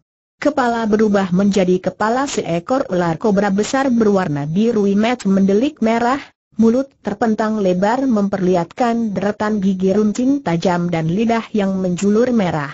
Inilah ilmu kesaktian dahsyat yang dimiliki Walang Gambir yang membuat dia dijuluki Kobra Biru. Puluhan orang termasuk belasan tokoh rimba persilatan telah menemui ajal di tangan kakek ini. Pendekar 212 dalam kagetnya segera bergerak mundur. Kau tak bisa bergerak. Kau tak bisa melangkah Wiro tersentak kaget saat itu dia benar-benar tak bisa bergerak, sekalipun sudah menggerakkan seluruh tenaga. Dua kakinya terasa berat jangankan melangkah, menggeser pun tak sanggup dilakukannya. Celaka. Tua bangka ini menyihirku yang dilakukan Walang Gambir dengan ilmunya bukan cuma menyihir Wiro tapi juga menyerangnya. Kepalanya yang telah berubah menjadi kepala ular kobra biru mendesis keras lagi melesat ke arah kepala Wiro. Untuk beberapa lamanya mulut kobra biru menancap di kening Wiro tanpa pendekar ini bisa berbuat apa-apa. Saat itulah tiba-tiba terdengar jeritan keras disertai berkelebatnya satu bayangan merah. Kisentot Balang Nipa berteriak kaget ketika mendadak ada yang merampas pedang di tangan kanannya. Belum sempat dia mencari tahu siapa yang melakukan hal itu, satu tendangan bersarang di dadanya. Untuk kedua kalinya si mati satu ini berteriak, kali ini karena kesakitan. Untuk kedua kalinya pula darah membersit dari mulutnya. Dalam keadaan seperti itu sepasang matanya melihat satu pemandangan berbahaya. Dia lalu berteriak, Ki Walang lawas serangan pedang di belakang Walang Gambir alias Kobra Biru mendesis dan bergerak cepat namun masih kalah cepat dengan datangnya sambaran Ang Leong Kiam. Keras des lolongan aneh menggelegar mengerikan di dalam gedung. Asap bini mengepul lalu sirna. Kurungan kepala ular kobra mencelat di udara lalu jatuh ke lantai ruangan. Beberapa orang yang ada di ruangan itu lari berpekikan. Begitu sosok walang gambir jatuh ke lantai, wujud kepala ular kobra biru berubah menjadi kepala asli walang gambir. Untuk kesekian kalinya orang banyak berpekikan ngeri. Kisentot Balang Nipa sendiri merasa tengkuknya dingin lalu terkapar pingsan. Keanehan dan kengerian tidak hanya sampai di situ. Tiba-tiba satu letusan dahsyat menggelegar disertai menebarnya asap biru. Ketika asap sirna, Potongan kepala dan sosok tubuh walang gambir yang tadi tergeletak di lantai tak ada lagi di tempat itu Lo Nio lekas tinggalkan tempat ini ada orang berteriak dalam bahasa Cina. Seorang pemuda bermuka tengkorak mencekal tangan kiri orang yang memegang pedang dan tadi menabas leher walang gambir. Ternyata orang ini bukan lain adalah Piang Lo Nio Niko Seng Paderi berwajah cantik yang saat itu kemunculannya disusul oleh Liok Ong Chun. Tidak aku harus menolong saudara Wei lebih dulu teriak Lo Nioniko lalu hendak melompat ke arah Wiro yang saat itu berdiri tidak bergerak, sepasang mata membeliak besar. Di keningnya ada sebuah luka berwarna biru. Warna biru ini menjalar ke seluruh wajah, turun ke leher, terus ke seluruh badan sampai ke ujung kaki. Bahkan rambutnya yang gondrong juga berubah biru jelas satu racun jahat telah merasuk ganas mulai dari kepala sampai ke kaki Seng pendekar lo tinggalkan dia. Perlu apa ditolong? Dia telah berbuat jahat hendak memperkosa mul ayo ikut aku dengan sekuat tenaga Liok Ong Chun menarik tangan Lo Nioniko demikian kuatnya tarikan ini hingga Liok Ong Chun berhasil membawa paderi itu sampai ke halaman depan. Liok Ong Chun lepaskan tanganmu atau kutabas dengan pedang Lo Nioniko mengancam. Perempuan keras kepala. Jangan cuma tangan, leherku boleh kau tabas teriak Liok Ong Chun. Jika kau memang suka pada pemuda itu pergilah. Dia diserang racun ganas tak ada obat yang bisa menyembuhkannya. Tak ada orang pandai yang bisa mengobatinya kau hanya akan mendapatkan bangkainya penuh geram pemuda bertopeng wajah tengkorak itu lepaskan cekatannya di pergelangan tangan kiri Lo Nioniko lalu menghambur pergi tinggalkan halaman gedung kadipaten. Ketika lewat di pintu gebang, saking geramnya Liok Ong Chun tendang sebuah harca batu hingga hancur berkeping-keping. Begitu ditinggal Liok Orge Chun dengan cepat Lo Nioniko lari masuk ke dalam gedung kembali. Namun pendekar 212 tak kelihatan lagi. Di lantai kisentot balang nipa terkapar pingsan terpelungkup. Tangan kiri masih memegang sarung Ang Leong Kiam. Leon Nioniko cepat ambil sarung pedang miliknya itu.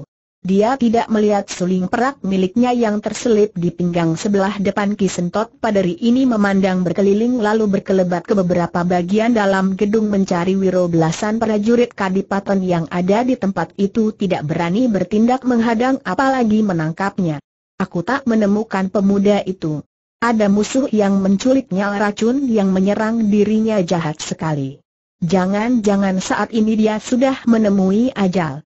Ah, Ke mana aku harus mencari Lo Nioniko memandang berkeliling. Saat itulah tiba-tiba terdengar teriakan. Tangkap perempuan bercadar itu selusin prajurit pengawal. Gedung kadipaten yang sejak tadi hanya bisa mengawasi dari jauh kini bergerak menebar mengurung Leon Nioniko, di depan sekali berdiri pimpinan mereka, seorang lelaki bertubuh tinggi besar berkumis tebal melintang dan berwokan lebat tangkap untuk kedua kalinya si berwok ini memberi perintah. Dua belas pengawal serta merta menyerbu Lo Nioniko. Dalam kesal dan khawatir Seng Padri melesat ke udara. Kaki kanan menginjak kepala pengawai, sarung pedang di tangan kiri berkelebat kian kemari. Kepala pengawal coba menangkap kaki Lo Nioniko tapi justru hidungnya disambar tumit Seng Padri hingga berderak patah dan kucurkan darah. Orang ini terbungkuk-bungkuk, meraung kesakitan layu jatuh terjerembab di lantai. Sementara itu lima prajurit berpekjukan sambil pegangi kepala mereka yang terluka dan benjut di kemplang sarung pedang. Masih untung Lo Nioniko tidak memecahkan kepala mereka. Sebelum melesat ke pintu Lo Nioniko berkelebat ke arah ranjang di mana jenazah Adipati Kartasuminta dibaringkan. Dengan cepat dia menarik kain sutra yang menutupi bagian atas jenazah. Walau cuma sebentar dan wajah jenazah itu dalam keadaan gosong hitam namun Padri masih bisa mengenali bahwa itu memang adalah wajah dan jenazah Seng Adipati. Di luar hari sudah terang. Leon Nioniko tak tahu mau bergerak ke arah mana. Akhirnya padari ini berkelebat ke jurusan timur seolah sengaja menyongsong kedatangan Seng Surya delapan HHUHU, dua nenek kembar rambut kebuah berjubah kuning baringkan tubuh pendekar 212 di lantai dangau. Dangau ini adalah tempat di mana dulu yang sepuh kembar Cilu menemui ajal dibunuh oleh seseorang yang sampai saat itu tidak diketahui siapa adanya. Sekujur badan Wirla mulai dari rambut sampai kepala dan mata, terus ke ujung kaki berwarna biru akibat racun jahat kobra biru. Dua nenek kejadian bicara hahu-hahu sambil dua tangan bergerak kian kemari. Mereka tengah dilanda kebingungan bagaimana caranya menolong Wiro yang saat itu berada dalam keadaan kaku, tak bisa bergerak tak mampu bicara, dua mat mendelik tak berkesip, hahu-hahu, Nenek di sebelah kiri berucap sambil jari-jari tangan memberi isyarat dia memberitahu pada kembarannya kalau sampai mayam nanti mereka tidak bisa menolong maka Wiro akan menemui ajal. Nenek satunya menyahuti dengan gerakan tangan pula dan bicara hahu-hahu sambil air mata meluncur di pipi yang keriput. Gerak isyarat tangannya mengartikan bahwa mereka tidak mungkin memusnahkan racun yang ada dalam tubuh dan aliran darah pemuda itu. Dia juga mengingatkan pada saudara kembarnya bahwa dulu di dangau ini yang sepuh kembar Cilu menemui kematian. Jangan-jangan Wiro juga akan mengakhiri riwayatnya di tempat ini. Sesuai permintaan Eyang Sepuh Kembar Cilu mereka sangat mengharapkan agar Wiro mencari dan membunuh orang yang telah membunuh nenek kembaran asli mereka itu. Karena hanya dengan care itulah penyakit gagu yang mereka derita akan lenyap.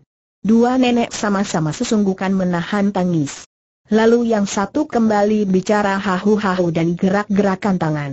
Dia menyampaikan kalau tidak bisa menolong menyembuhkan paling tidak mereka harus dapat membuat Wiro sadar dan mampu bicara. Dua nenek itu kemudian sibuk memeriksa aliran darah di sekujur tubuh pendekar 212, menotok beberapa urat besar. Sampai sepeminuman teh berlalu keadaan Wiro tidak berubah. Mendelik kaku tak bisa keluarkan suara. Dua nenek terduduk bingung. Mereka perhatikan wajah Wiro yang pada keningnya ada luka terkuak sebesar ujung ibu jari tangan. Ini adalah luka bekas patukan kobra biru, ular kejadian kakek jahat walang gambir. Hahu-hahu nenek di sebelah kanan menunjuk ke arah luka di kening Wiro. Gerakan tangannya memberitahu pada kembarannya agar mereka coba melakukan sesuatu pada luka itu. Hahu-hahu, nenek ini letakkan telapak tangan kanannya di atas luka. Lalu telapak tangan kiri ditindihkan di atas tangan kanan. Nenek kedua bersimpuh di belakang. Dua tangan ditempelkan ke punggung kembarannya. Hahu-hahu dua nenek kembar sama-sama kerahkan tenaga dalam lalu menyedot. Empat tangan bergetar hebat. Dua tubuh bergoncang. Ada aliran cahaya biru tersedot dari kening Wiro, mengalir melalui tangan lalu masuk ke dalam tubuh dua nenek kembar. Hahu-haha. Huah dua nenek terjengkang, menjerit lai umuntahkan cairan biru. Untuk beberapa lamanya mereka tergeletak tak bergerak dengan muka pucat dada mendenyut sakit keduanya cepat alirkan hawa sakti di dalam tubuh untuk mencegah keracunan. Tiba-tiba mereka mendengar suara orang mengerang. Dua nenek serta merta bergerak bangun. Memperhatikan ke arah Wiro mereka melihat dua bola mata sang pendekar yang masih berwarna biru bergerak-gerak sementara mulut komat kami Wiro seperti hendak mengatakan sesuatu namun tak ada suara yang keluar. Hahu-hahu dua nerek sama-sama ulurkan tangan satu menotok urat besar jalan suara di pangkal leher sebelah kiri, satunya menotok urat besar jalan suara di pangkal leher sebelah kanan. Saat itu Wiro juga keluarkan suara seperti tercekik lalu semiurkan cairan kental berwarna biru. Muka dan tubuhnya basah oleh keringat dingin. Di mana ini? Apa yang terjadi dia berusaha menggerakkan gun. Tak bisa. Tubuhku kaku, dua nenek tampak gembira melihat dan mendengar Wiro bisa bicara hahu-hahu, Wiro gerakan kepala, tapi tidak mampu. Dia hanya bisa memutar bola mata, memperhatikan. Ah, kalian rupanya. Nek, aku tak bisa menggerakkan tangan. Dua kaki kaku. Sekujur tubuhku terasa panas, hahu-hahu, nenek di sebelah kanan membuat gerakan isyarat dengan kedua tangannya. Wiro memperhatikan dan coba mengartikan isyarat gerakan tangan si nenek. Kau keracunan. Kami tidak bisa menolong. Walau kini kau bisa bicara, kau akan menemui ajal menjelang malam nanti. Kami akan tenis berusaha menyelamatkanmu, dua nenek memeriksa sekujur tubuh Wiro. Mereka membuat totokan di beberapa tempat tetap saja Wiro tak bisa bergerak dan warna biru masih menyelubungi sekujur tubuhnya. Malah kini pemandangannya perlahan-lahan terasa kabur. Sementara dua nenek berusaha menolong. Wiro coba mengingat-ingat apa yang terjadi. Gedung Kadipaten. Dia berkelahi melawan kakek muka kuda Kisentot Balang Nipa. Lalu ada kakek berjubah hitam yang mukanya berubah menjadi ular kobra biru. Ular jejadian mematuk kepalaku. Dua nenek kembar, mereka menyelamatkan diriku, membawa aku ke tempat ini. Racun jahat itu. Apakah hawa sakti kapak naga geni 212 yang ada dalam tubuhku tidak bisa memusnahkannya? Apakah tubuhku yang selama ini kebal segala macam racun kini tidak punya daya penolak sama sekali? Aneh. Apakah ini akibat ulah takabur dan sikap keras kepalaku tempo hari pada Eyang Sintowiro mengerang? Kepalanya mendenyut sakit hahu-hahu, nenek di sebelah kanan menunjuk ke arah pinggang Wiro sebelah kiri lalu membuat gerakan jari tangan membentuk empat persegi. Rupanya waktu memeriksa tubuh Wiro tadi dia melihat sebuah benda di balik pinggang celana dalam pendekar. Nek, aku tahu maksudmu. Di balik pinggang celanaku sebelah kiri ada sebuah kantong kain. Di dalamnya ada kitab ilmu pengobatan. Ambil dan baca isinya. Cari tahu care pengobatan untuk menolong diriku, nenek sebelah kiri segera memeriksa kebalik baju Wiro sebelah kanan. Dia menemukan kantong kain putih. Dari dalam kantong dia kemudian mengeluarkan kitab seribu pengobatan yang terbuat dari daun lontar kering. Bakal, cari. Mudah-mudahan ada petunjuk bagaimana mengobati dan mengeluarkan racun yang ada dalam tubuhku, dua nenek gelengkan kepala. Dua tangan ditutupkan ke metel yang berwarna merah. Kepala kembali digeleng ke Ieng. Ah, kalian tak bisa membaca, ucap Wiro pertalian begitu melihat sikap yang ditunjukkan dua nenek, sandarkan aku ke tiang dangau. Letakkan kitab di atas pangkuanku. Kalian buka halaman demi halaman. Aku akan berusaha membaca, tapi Wiro terdiam, mustahil aku lakukan. Mataku semakin kabur, hahu-hahu, nenek sabetah kanan membuat gerakan tangan. Dia mengisyaratkan akan mencari seseorang yang bisa membaca. Tiba-tiba satu bayangan merah berkelebat Wiro mengucap matanya yang tambah sulit melihat samar-samar dia melihat satu sosok merah di hadapannya. Nio Nio Niko? Kaukah yang datang ini tak ada jawaban. Wiro pejamkan mata. Dalam hati dia menjawab sendiri pertanyaannya. Bukan, bukan dia.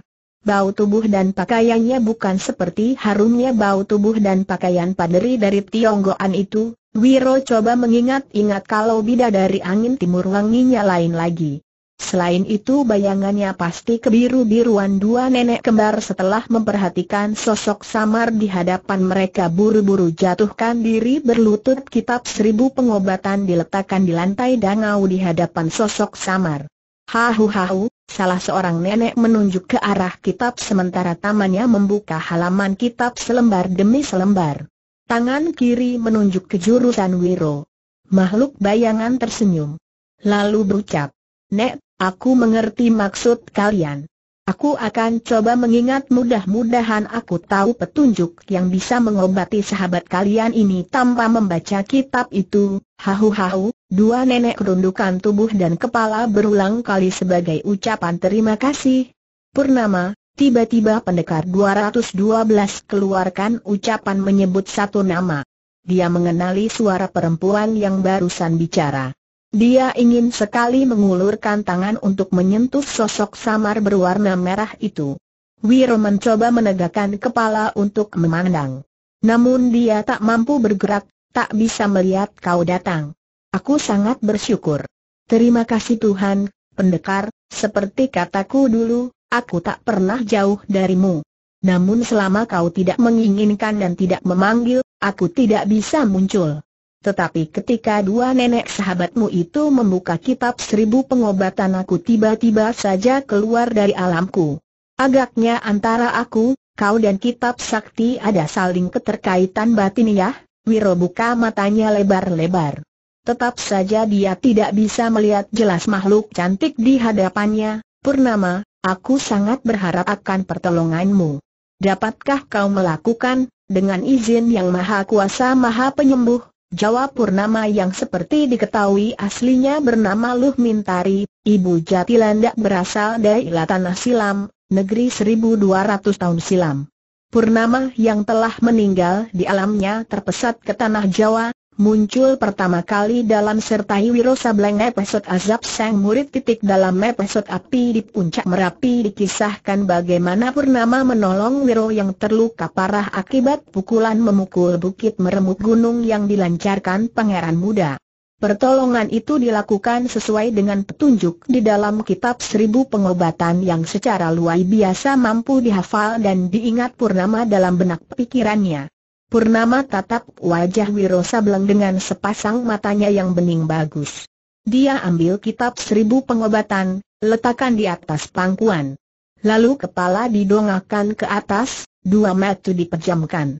Perlahan-lahan dari mulutnya meluncur ucapan. Kitab seribu pengobatan. Halaman 121. Pengobatan ke-509 manakala seseorang terkena racun patukan binatang berwujud makhluk gaib atau sebangsa sihir, penyembuhan harus dilaksanakan dalam waktu paling lambat setengah hari setelah terjadinya peristiwa. Ada enam hal yang harus dilakukan. Pertama memohon dan berdoa kepada Tuhan Maha Kuasa Maha Penyembuh agar orang yang cedera disembuhkan dari penyakitnya kedua menutup luka bekas patukan dengan tanah liat, ketiga membuat goresan tanda silang di ubun-ubun orang yang cedera. Keempat menggantung orang itu kaki ke atas kepala ke bawah. Kelima membuka aliran darah dengan cara menotok urat besar di pangkal paha sebelah kiri dan sebelah kanan dengan disertai aliran hawa sakti. Keenam dorong tubuh orang yang tergantung sejarak satu tombak. Biarpun tubuh itu bergoyang. Bila mana tubuh yang bergoyang berhenti maka semua racun dengan izin yang maha penyembuh akan keluar dari sekujur tubuhnya melalui ubun-ubun, hahu-hahu, dua nenek kembar tampungkan dua tangan. Mulut komat kami tentah mengucap apa. Purnama tersenyum dan mulai pula berdoa dalam hati. Wiro pejamkan dua mata. Berdoa memohon kesembuhan pada yang maha kuasa. Hahu-hahu, selesai berdoa nenek kembar di samping kanan tanggalkan ikat kepala lalu sibakan rambut tebal di bagian atas kepala pendekar 212. Dia isap dulu jari telunjuk tangan kanannya. Lalu dengan ujung kukunya yang lancip dia membuat guratan tanda silang di kulit kepala tepat di ubun-ubun. Guratan cukup dalam hingga membuat luka yang mengucurkan darah berwarna biru aneh.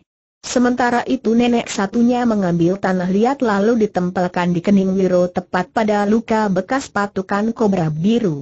Kita butuh tali, berkata Purnama. Hahu-hahu, nenek yang menempelkan tanah liat mengeluarkan sesuatu dari balik jubah kuningnya yang ternyata adalah segulung setagen.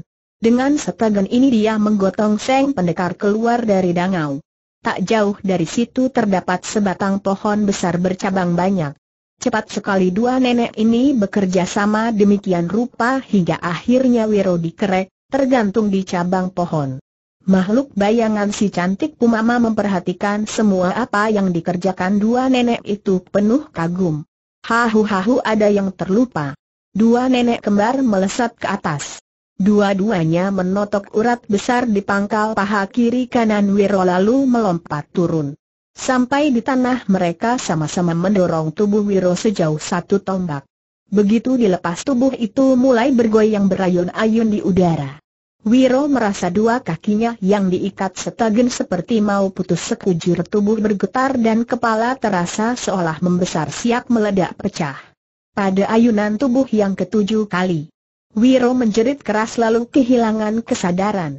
Dari ubun-ubun yang ada guratan tanda silang mengucur cairan warna biru. Mula-mula hanya berupa tetesan, kemudian berubah deras. Tanah yang digenangi cairan biru mengepul ke asap dan menebar bau busuk. Tak selang berapa lama ayunan tubuh Wiro mulai perlahan. Cairan biru yang mengucur dari batok kepala yang tadi mancur deras perlahan-lahan berhenti, lalu berganti dengan kucuran darah merah segar. Ini satu pertanda bahwa racun yang mengendap di tubuh pendekar 212 telah terkuras habis. Bersamaan dengan itu warna biru pada sekujur tubuh mulai dari kaki sampai kepala dan rambut Wiro secara aneh lenyap. Tanah liat yang sejak tadi menempel di kening terlepas tanggal.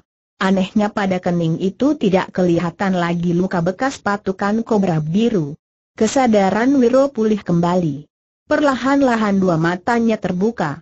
Ternyata warna biru pada kedua mata itu juga telah sirna. Purnama merasa lega. Dua nenek kembar tampak gembira dan bersiap-siap untuk menurunkan tubuh Wiro. Namun mendadak sontak di udara terdengar suara berkesyuran tujuh benda biru panjang melesat ke arah Wiro yang masih berada dalam keadaan tergantung di cabang pohon hahu-hahu dua nenek kembar berambut kehuhu berteriak keras lalu melesat ke udara sambil lepaskan pukulan tangan kosong. Enam benda biru yang menyerang Wiro terpental dan jatuh ke tanah. Benda ketujuh sempat menembus lengan jubah salah seorang nenek dan menggurat tangan kirinya hingga mengucurkan darah. Serta merta tangan yang cedera menjadi bengkak merah. Nenek ini berteriak kesakitan sekaligus marah. Dengan kuku jari tangan kanannya dan merobek bagian lengan yang bengkak lalu memencet kuat-kuat darah merah keluar mengucur bercampur noda-noda hitam racun jahat si nenek selamat dari serangan racun mematikan. Enam benda hitam yang bergeletakan di tanah ketika diperhatikan ternyata adalah enam ekor ular kobra yang telah mati mengering hitami ular satunya setelah melukai nenek tadi, menancap di batang pohon. Pohon ini langsung berubah hitam mulai dari batang sampai ke daun makhluk bayangan purnama tersentak kaget melihat apa yang terjadi. Cepat dia goyangkan bahu cahaya bergemerlap kebiruan seperti percikan ratusan bunga api memancar keluar dari tubuhnya. Makhluk cantik ini melompat sejauh tujuh langkah dan langsung berhadapan dengan orang yang tadi melemparkan tujuh ekor ular berbisa ke arah Wiro. Orang ini bukan lain adalah Walang Gambir alias Kobra Biru, kakek berjubah hitam gombrong yang tadi malam di gedung Kadipaten telah mencelakai Wiro dengan ilmu Kobra Birunya. Ketika terjadi perkelahian di dalam gedung, seperti diceritakan dengan pedang naga merah Lo Nioniko berhasil membabat putus kepala Wayang Gambir hingga kakek ini menemui ajal. Lantas bagaimana kini dia bisa hidup dan muncul kembali? Ilmu kobra biru yang dimiliki Walang Gambir merupakan satu ilmu kesaktian luar biasa. Selain sanggup menghabisi lawan sekaligus ilmu ini mempunyai unsur sihir yang mampu menipu pandangan mata, tawan serta orang di sekitarnya. Pada peristiwa yang seolah nyata bagaimana Lo Nioniko menahas putus batang leher walang gambir yang saat kejadian berbentuk ular kobra biru, sebenarnya apa yang terlihat adalah tipuan belaka. Ular kobra biru memang tampak menemui ajal namun walang gambir sendiri tetap hidup. Sosok kasarnya berkelebat pergi meninggalkan gedung kadipaten tanpa ada seorang pun yang melihat selain itu ilmu kobra biru tetap masih dimiliki walang gambir bersama ilmu sihir lainnya. Di samping walang gambir berdiri Ki Sentot Balang Nipa. Ketika melihat dua nenek aneh serta makhluk bayangan berpakaian merah Ki Sentot cepat berbisik pada sobatnya. Kiwalang, kita pergi saja. Cari kesempatan lain untuk membunuh murid Sento Gendeng keparat itu, Ki Sentot kau tahu urusan kita. Pemuda itu harus dilenyapkan. Kalau tidak semua urusan bisa jadi kapiran. Kalau nyalimbu secetek comeran silahkan minggat jawab Walang Gambir. Di damperat seperti itu Ki Sentot Balang Nipa yang sudah melihat bahaya besar di depan mata merasa kebetulan sekali, Kau bicara begitu karena merasa memiliki ilmu kesaktian hebat nyatanya tadi malam kau dipecundangi perempuan Cina itu. Silahkan kalau mau mencari penyakit setelah keluarkan ucapan dalam hati begitu rupa, tidak tunggu lebih lama kakek bermata satu ini segera menghambur kabur dari tempat itu. Orang tua, apa dendamu terhadap pendekar 212 hingga ingin membunuhnya secara keji dan licik yang menegur adalah makhluk bayangan purnama, saat itu juga tubuhnya yang samar perlahan-lahan berubah tiada beda dengan manusia biasa. Sementara cahaya biru bergemerlapan masih terus membungkus tubuhnya. Melihat kecantikan orang yang berdiri di hadapannya walang gambir jadi terpesona. Pikiran kotor menjalari otaknya. Orang cantik, aku tidak tahu siapa dirimu. Tapi kalau kau adalah genda yang kesekian dari pemuda gondrong itu, sungguh hatiku menjadi sedih dan kecewa sekali. Mengapa tidak hidup bersamaku saja? Lihat wajahku tidak seburuk kenyataan habis berkata begitu walang gambir rusak wajahnya. Tampang si kakek serta merta berubah menjadi wajah seorang pemuda yang sangat gagah. Purnama sunggingkan senyum yang membuat wayang gambir semakin tergila. Orang tua, kalau aku tunjukkan wajahku sebenarnya, apakah kau masih suka padaku walang gambir kerenyitkan kening, yang namanya perempuan cantik itu dilihat dari mana saja akan tetap cantik membesona Purnama layangkan senyum. Seperti dilakukan walang gambir si cantik ini lalu usap pula wajahnya. Saat itu juga wajah Purnama berubah menjadi sangat mengerikan dan menjijikan. Pipi sebelah kiri geroak busuk mencuatkan barisan gigi menyerupai taring.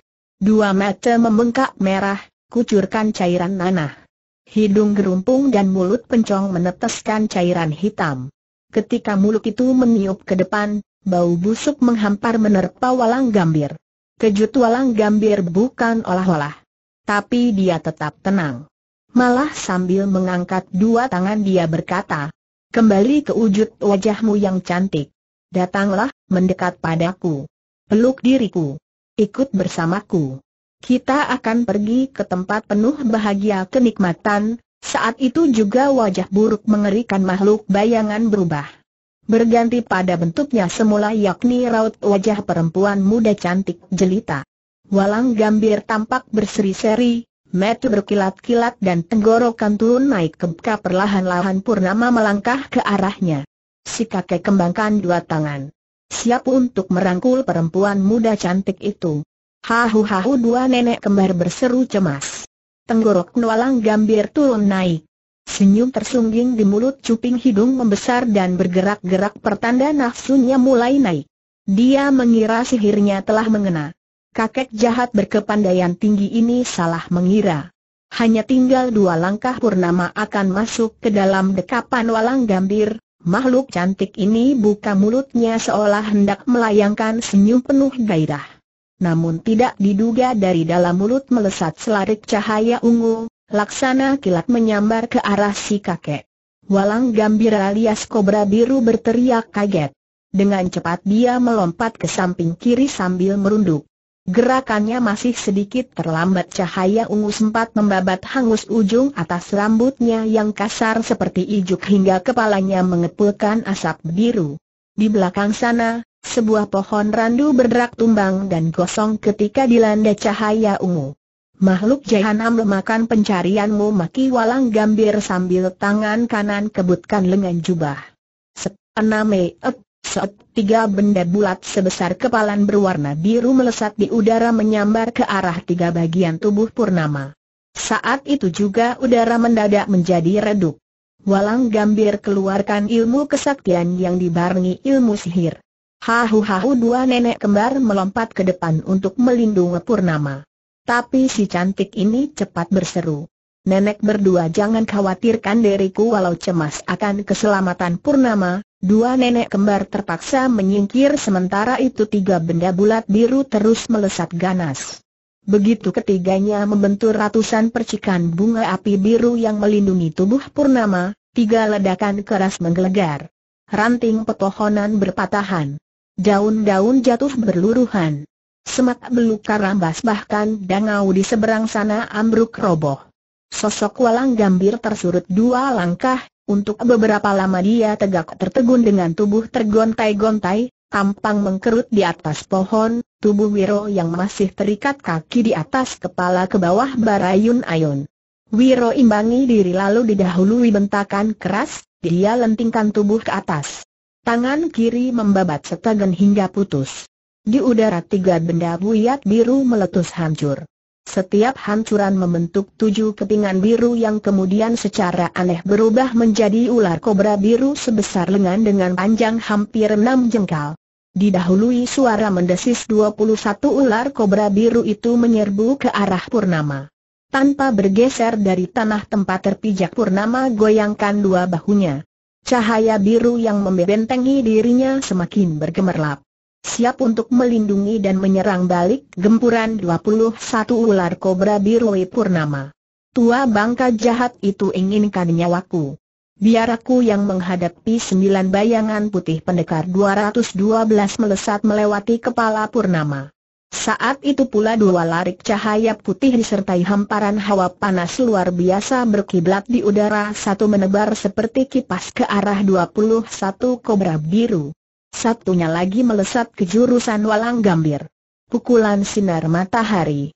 Wiro menghantam dengan dua tangan sekaligus 21 kobra biru mendesis keras sebelum tubuh mereka mencelat di udara dalam keadaan terpanggang hangus. Tapi gilanya begitu mental, 21 ular yang sudah gosong hitam itu melayang berputar dengan keluarkan suara berdesing lalu bersatu menjadi seekor ular kobra raksasa warna biru mulut menganga lebar, sanggup membeset dan menelan sasaran sebesar kambing. Laksana terbang makhluk kejadian ini melesat ke arah pendekar 212 Wiro Sableng. Sementara itu sambil berteriak dan memaki geram dengan menjatuhkan diri ke tanah Walang Gambir berhasil selamatkan diri dari pukulan sinar matahari. Namun begitu dia berdiri terjadi satu keanehan. Buk ibuk. Buk dadanya dihantam pukulan bertubi-tubi hingga tubuhnya terjengkang jatuh di tanah. Darah meleleh di sela bibir. Siapa yang memukul tidak kelihatan. Bau kembang aneh menghampar di tempat itu. Penyerang jahanam. Unjukkan dirimu teriak walang gambir marah sambil sekadah yang meleleh di dagu. Dia cepat berdiri. Tak ada jawaban. Kalap dan geram dia memukul ke depan, menghantam ke samping dan menjotos ke atas. Semua pukulan yang menghantam udara kosong itu menimbulkan suara gaung seperti topar menerpa jurang batu yang dalam. Walang gambir memandang geram berkeliling, pengecut rusuknya. Baru saja dia keluarkan makian, belum sempat berdiri lurus, seperti tadi buk, buk, buk jotosan-jotosan keras dari penyetan yang tidak kelihatan kembali melabrak dadanya. Dia berusaha menangkis dengan melintangkan dua tangan di depan muka dan dada. Namun luput metu kiri bengkak kucurkan darah dua tulang iga walang gambir berderak patah. Bagaimanapun hebat sakti serta memiliki ilmu sihir namun kali ini nyali walang gambir alias kobra biru benar-benar putus. Tidak menunggu lebih lama dia segera putar tubuh, membuat lompatan sejauh hampir dua tombak lalu menghambur lari dari tempat itu. Kini dia baru menyadari benarnya ucapan Kisentot Balang Nipa tadi. Dia datang di waktu dan tempat yang salah. Akan halnya ular kobra biru raksasa yang menyerang Wiro, begitu melihat tuannya kabur segera pula memutar kepala namun tiba-tiba saat bayangan merah berkelebat disertai komandang seruan makhluk jahat jejadian. Pelajaran tempo hari rupanya tidak membuat mujra. Mau kabur ke mana sinar merah bertabur. Suara berkesyuran terdengar tak berkeputusan disertai suara keras titik keras, keras titik tubuh kobra biru raksasa terkutung-kutung. Sesaat kemudian kepala binatang ini putus menggelinding. Darah biru mengenangi tanah. Bawanyir menyesak jalan pernafasan. Des, des, des didahului suara mendesis tiga kali, Potongan kepala dan tubuh kobra biru berubah menjadi asap biru lalu lenyap dari pemandangan hahu-hahu dua nenek kembar keluarkan suara sambil menunjuk ke depan dangau yang roboh. Di depan dangau berdiri seorang berpakaian merah berbunga-bunga kuning biru. Bagian bawah pakaian ini kelihatan robek. Kepalanya tertutup dasar dan wajahnya terlindung cadar merah. Leon Nioniko, Paderi ini berdiri memegang Ang Leong Kiam yang memancarkan cahaya merah. Dengan sepasang mata menatap ke arah Wiro dan Purnama Paderi dari Tionggoan ini meniup badan pedang. Noda biru darah kobra biru jejadian yang mengotori pedang sakti serta merta sirna. Walau kepala tidak lagi mengenakan topi dan wajah kini tertutup kain merah namun Wiro segera mengenali, perempuan berpakaian merah di seberang sana adalah Kiang Lo Nioniko, Padori Nilonio, hahu-hahu ucapan Wiro terputus oleh suara dua nenek kembar. Kali ini keduanya menunjuk ke arah kaburnya Walang Gambir. Ternyata di jurusan itu berdiri seorang gadis cantik berwajah pucat mengenakan kebaya putih panjang berkancing besar dipadu celana putih setinggi betis, menatap sayu ke arah pendekar 212. Bunga, ucap Wiro gembira. Setelah pertemuan terakhir di mana gadis salam roh itu pergi secara tidak enak, Wiro tidak menduga kalau bunga akan muncul kembali. Dia melangkah mendekati tapi lima langkah akan sampai bunga angkat tangan kanannya. Dengan gerak isyarat perlahan dia memberi tanda agar Wiro tidak datang lebih dekat Wiro terpaksa hentikan langkah. Menatap wajah putih yang memancarkan kesedihan mendalam. Aku selalu datang di saat yang tidak tepat maafkan kalau aku mengganggu dirimu, bunga keluarkan ucapan. Suaranya terucap perlahan seolah menahan perasaan. Wiro gelengkan kepala. Bunga, aku gembira kau muncul. Tidak ada yang merasa terganggu. Kau tadi rupanya yang memukul orang tua berjubah hitam itu hingga dia melarikan diri. Kau telah menolong diriku. Aku mengucapkan terima kasih, Apakah aku boleh melangkah lebih dekat bunga, gadis salam roh yang aslinya bernama Suci menggeleng. Bibirnya mereka senyum namun sepasang matanya tampak berkaca-kaca. Bunga, kau menangis. Apakah aku telah berlaku salah gadis cantik berwajah pucat dari alam roh itu gelengkan kepala. Gelengan kepala ini membuat air yang mengambang di kedua matanya jatuh meluncur ke pipi membentuk tetesan air mata. Aku menangisi ketololanku sendiri tidak seharusnya aku muncul di sini, tidak ada yang melarangmu datang ke sini. Bunga. Bahkan aku gembira kau mau datang. Ah, mengapa hal ini harus terulang lagi? Bunga tatap wajah Seng pendekar lalu melirik ke arah Purnama. Wiro, jika kau punya sahabat baru, jangan pernah melupakan sahabat lama. Betapapun buruknya sahabat lama itu, Bunga kalau maksudmu. Bunga, aku tidak pernah melupakanmu kau ingat pertemuan kita terakhir kali. Malam hari di Bukit Menoreh, Waktu itu aku katakan apa pun yang terjadi semua itu tidak mengurangi rasa sayangku padamu. Terima kasih untuk ucapan yang penuh keindahan itu, kata bunga pula sementara air mata jatuh berderai di pipinya yang pucat dan dadanya sesak turun naik. Gadis dari alam roh ini memutar tubuh. Bunga, aku tahu kau tidak percaya pada kata-kataku. Aku harus berbuat apa? Aku hanya minta jangan pergi. Aku ingin kita bicara lebih banyak, Wiro mendekat namun bunga telah melangkah pergi. Sedikit demi sedikit sosoknya berubah menjadi bayang-bayang dan akhirnya lenyap dari pemandangan. Murid Sento Gendeng hanya bisa menghela nafas panjang berulang kali garuk-garuk kepala. Wiro berbalik dan arahnya ternyata membuat dia kini saling pandang dengan paderi cantik dari Tionggoan yang tegak di depan runtuhan dangau, memperhatikan dirinya. Saat itu Seng Paderi tengah bicara dengan hatinya sendiri. Gadis cantik berwajah pucat itu. Dia pergi dengan mata basah. Aku bukan saja melihat kesedihan amat mendalam di wajahnya. Tapi aku juga melihat pancaran perasaan hati yang luluh. Aku mendengar ucapannya tadi. Rupanya pemuda itu meninggalkan dirinya setelah mengenal si cantik berpakaian merah itu. Leon Nioniko melirik ke arah Purnama, Perempuan cantik satu itu, dia tenang saja. Kelihatannya dia seperti menyukai kepergian gadis berwajah pucat tadi. Ah, tambah banyak kenyataan yang aku lihat agaknya apa yang diceritakan orang akan kusaksikan sebagai satu kebenaran. Pemuda Wei ini punya banyak kekasih. Dia meninggalkan yang lama bila mana mendapatkan yang baru. Aku cukup jelas mendengar ucapan gadis muka pucat tadi. Bagaimana dengan diriku, Nio Nio Niko? Wiro menyapa, untuk kesekian kalinya kau menolongku. Aku sangat berterima kasih. Mari aku perkenalkan kau dengan seorang sahabat ah, kalian sama-sama berpakaian warna merah. Kalian sama-sama cantik, Purnama tersenyum mendengar kata-kata Will itu. Sebaliknya Lon Niko tidak beranjak dari tempatnya berdiri. Perlahan-lahan dia sarungkan Ang Leong Kiam. Dia menatap ke arah Pumama lalu membungkukkan badan memberi penghormatan. Pumama balas menghormat dengan tundukan badan dan kepala disertai senyum tulus. Nio Nio Niko berpaling pada Wiro. Saudara Wiro. Aku harus pergi. Ucapanmu waktu di goa benar adanya. Adipati Brebes telah menemui ajal, aku yang membunuhnya ketika dia hendak berbuat mesum atas dirimu. Aku jelaskan semua itu waktu di goa.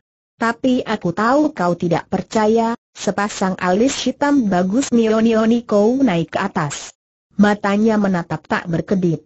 Kafinya berkata, Liok Ong Chun memberitahu pemuda gondrong inilah yang hendak merusak kehormatanku. Liok Ong Chun banyak dustanya.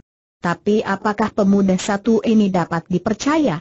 Apa betul dia yang membunuh Adipati itu waktu malam di Goa? Jika tuduhan Liok Ong Chun tidak betul bahwa kau hendak merusak kehormatanku, mengapa kau melarikan diri Lo Nioniko wajukan pertanyaan? Seperti katamu saat itu karena aku seorang pengecut jawab Wiro yang membuat wajah cantik Seng Paderi di balik kain penutup menjadi bersemu merah. Untuk beberapa lamanya Lo Nioniko terdiam. Ah, dia menaruh marah paling tidak kecewa atas ucapanku waktu di gua malam tadi tapi aku harus bagaimana? Selama tidak ada kejelasan aku akan selalu menaruh syak wasangka. Melihat kenyataan dia mempunyai banyak kekasih tidak mustahil hatinya memang culas. Di Tionggoan banyak musang berbulu ayam. Mungkin di negeri ini lebih banyak lagi, saudara Wiye, Nio Nio Niko akhirnya berkata. Dalam waktu dekat saya akan menemui. Banyak hal yang perlu mendapat kejelasan, Nio Nio Niko. Mengapa kita tidak bicara sekarang saja paderi perempuan itu tidak segera menjawab. Dia melirik sekilas pada Purnama. Perasaannya muncul, hatinya kembali berkata, Tadi pemuda ini mengatakan aku dan perempuan muda itu sama-sama cantik sungguh ceriwis. Aku tak mau kecantikanku disamakan dengan gadis itu Wiro yang sempat melihat lirikan Nio Niko dan merasakan adanya bayangan cemburu pada wajah paderi itu. Segera saja dia berkata, Nio Nio Niko, Purnama sahabatku, Berarti sahabatmu juga. Tidak ada yang perlu dirahasiakan. Kau bisa bicara bebas, pendekar, kalau memang kehadiranku menjadi ganjalan pembicaraan kalian, aku lebih baik pergi saja sekarang juga, ucap Purnama. Ah, sekarang Purnama yang cemburu, keluh Wiro dalam hati. Biar saya yang pergi, kata Lo Nioniko pula. Kau hendak ke mana Nionio tanya pendekar 212 mencari seorang gadis bernama Ningrum. Dia adalah orang yang jadi penghubung saya dengan mendiang Adipati Brebes. Saya punya dugaan dia bisa memberi beberapa keterangan yang saya butuhkan, seperti diketahui dan diceritakan dalam episode sebelumnya, Dadu Setan, Ningrum adalah gadis pemandu judi dadu di Istana Seribu Rejeki Seribu Sorga. Gadis ini memang punya hubungan baik dengan Adipati Kartasuminta serta banyak tahu apa-apa yang dilakukan Aang Adipati. Setelah berkata begitu tanpa banyak cerita lagi Lon Nioniko segera tinggalkan tempat itu. Wiro menggaruk kepala, berpaling pada Purnama. Hahu-hahu, dua nenek kembar yang sejak tadi masih ada di tempat itu keluarkan suara. Yang satu memberi isyarat dengan gerakan tangan bahwa dia dan kawannya akan meninggalkan tempat itu. Yang satunya mendekati Wiro sambil mengulurkan sebuah benda. Ternyata benda itu adalah sebuah suling perak. Ini suling milik paderi perempuan itu. Nek, di mana kau menemukan? Kenapa tidak dikeluarkan tadi-tadi tanya Wiro. Nenek yang ditanya membuat gerakan tangan menggambarkan bangunan besar lalu tutup mata kanannya sementara tangan kiri menepuk-nepuk pinggang. Aku mengerti. Suling ini kau temukan di gedung kadipaten. Di pinggang seorang bermata picak. Ah, pasti maksudmu kisentot balang nipa, hahu-hahu, si nenek manggut-manggul kenapa tadi tidak serahkan pada pemiliknya sendiri tanya Wiro. Nenek yang ditanya goyang-goyangkan tangan kiri temannya menggeleng-geleng. Dua tangan mereka sibuk memberi isyarat aku tak mengerti maksud kalian. Tapi baiklah. Suling ini akan kusimpan. Akan kuserahkan pada pemiliknya jika nanti bertemu, hahu-hahu, dua nenek menunjuk ke arah kejauhan lalu senyum-senyum melirik pada Purnama. Kalian mau pergi tanya Wiro, baiklah. Aku berterima kasih. Kalian telah banyak menolong. Aku akan meneruskan menyelidik pembunuh Eyang Sepuh Kembar Tilu, hahu-hahu, dua nenek membungkuk berulang kali lalu melirik lagi pada Purnama. Sambil tertawa hahaha dan bergandengan tangan keduanya kemudian tinggalkan tempat itu. Dua nenek sahabatku itu agaknya senang padamu, ucap Wiro. Aku juga suka pada mereka. Siapa yang sepuh kembar telu sebelumnya mereka terdiri dari tiga kembaran yang dua tadi kembaran jejadian. Yang asli, yang bernama Eyang Sepuh Kembar Cilu menemui ajal di tangan seseorang. Sebelum menghembuskan nafas terakhir nenek itu minta tolong agar aku mencari dan menghabisi orang yang membunuhnya. Hanya dengan kematian si pembunuh dua nenek itu akan lenyap penyakit gagunya, Wiro lalu mengeluarkan kancing jas tutup yang ada dalam saku pakaiannya. Kancing ini ditemukan dalam genggaman Eyang Sepuh Kembar Telu setelah dia dibunuh. Agaknya benda ini menjadi kunci siapa pembunuh nenek itu, Wiro lalu keluarkan pula sebuah kantong kain warna hitam. Kantong ini aku temukan dalam salah satu pakaian milik Adipati Brebes. Aku tak tahu mengapa aku begitu saja mengambilnya, banyak tugas yang harus kau lakukan. Aku pikir aku pergi saja sekarang, tunggu, jangan pergi dulu, kehadiranku menimbulkan rasa tidak suka pada banyak orang, Purnama, jangan kau berpikir begitu.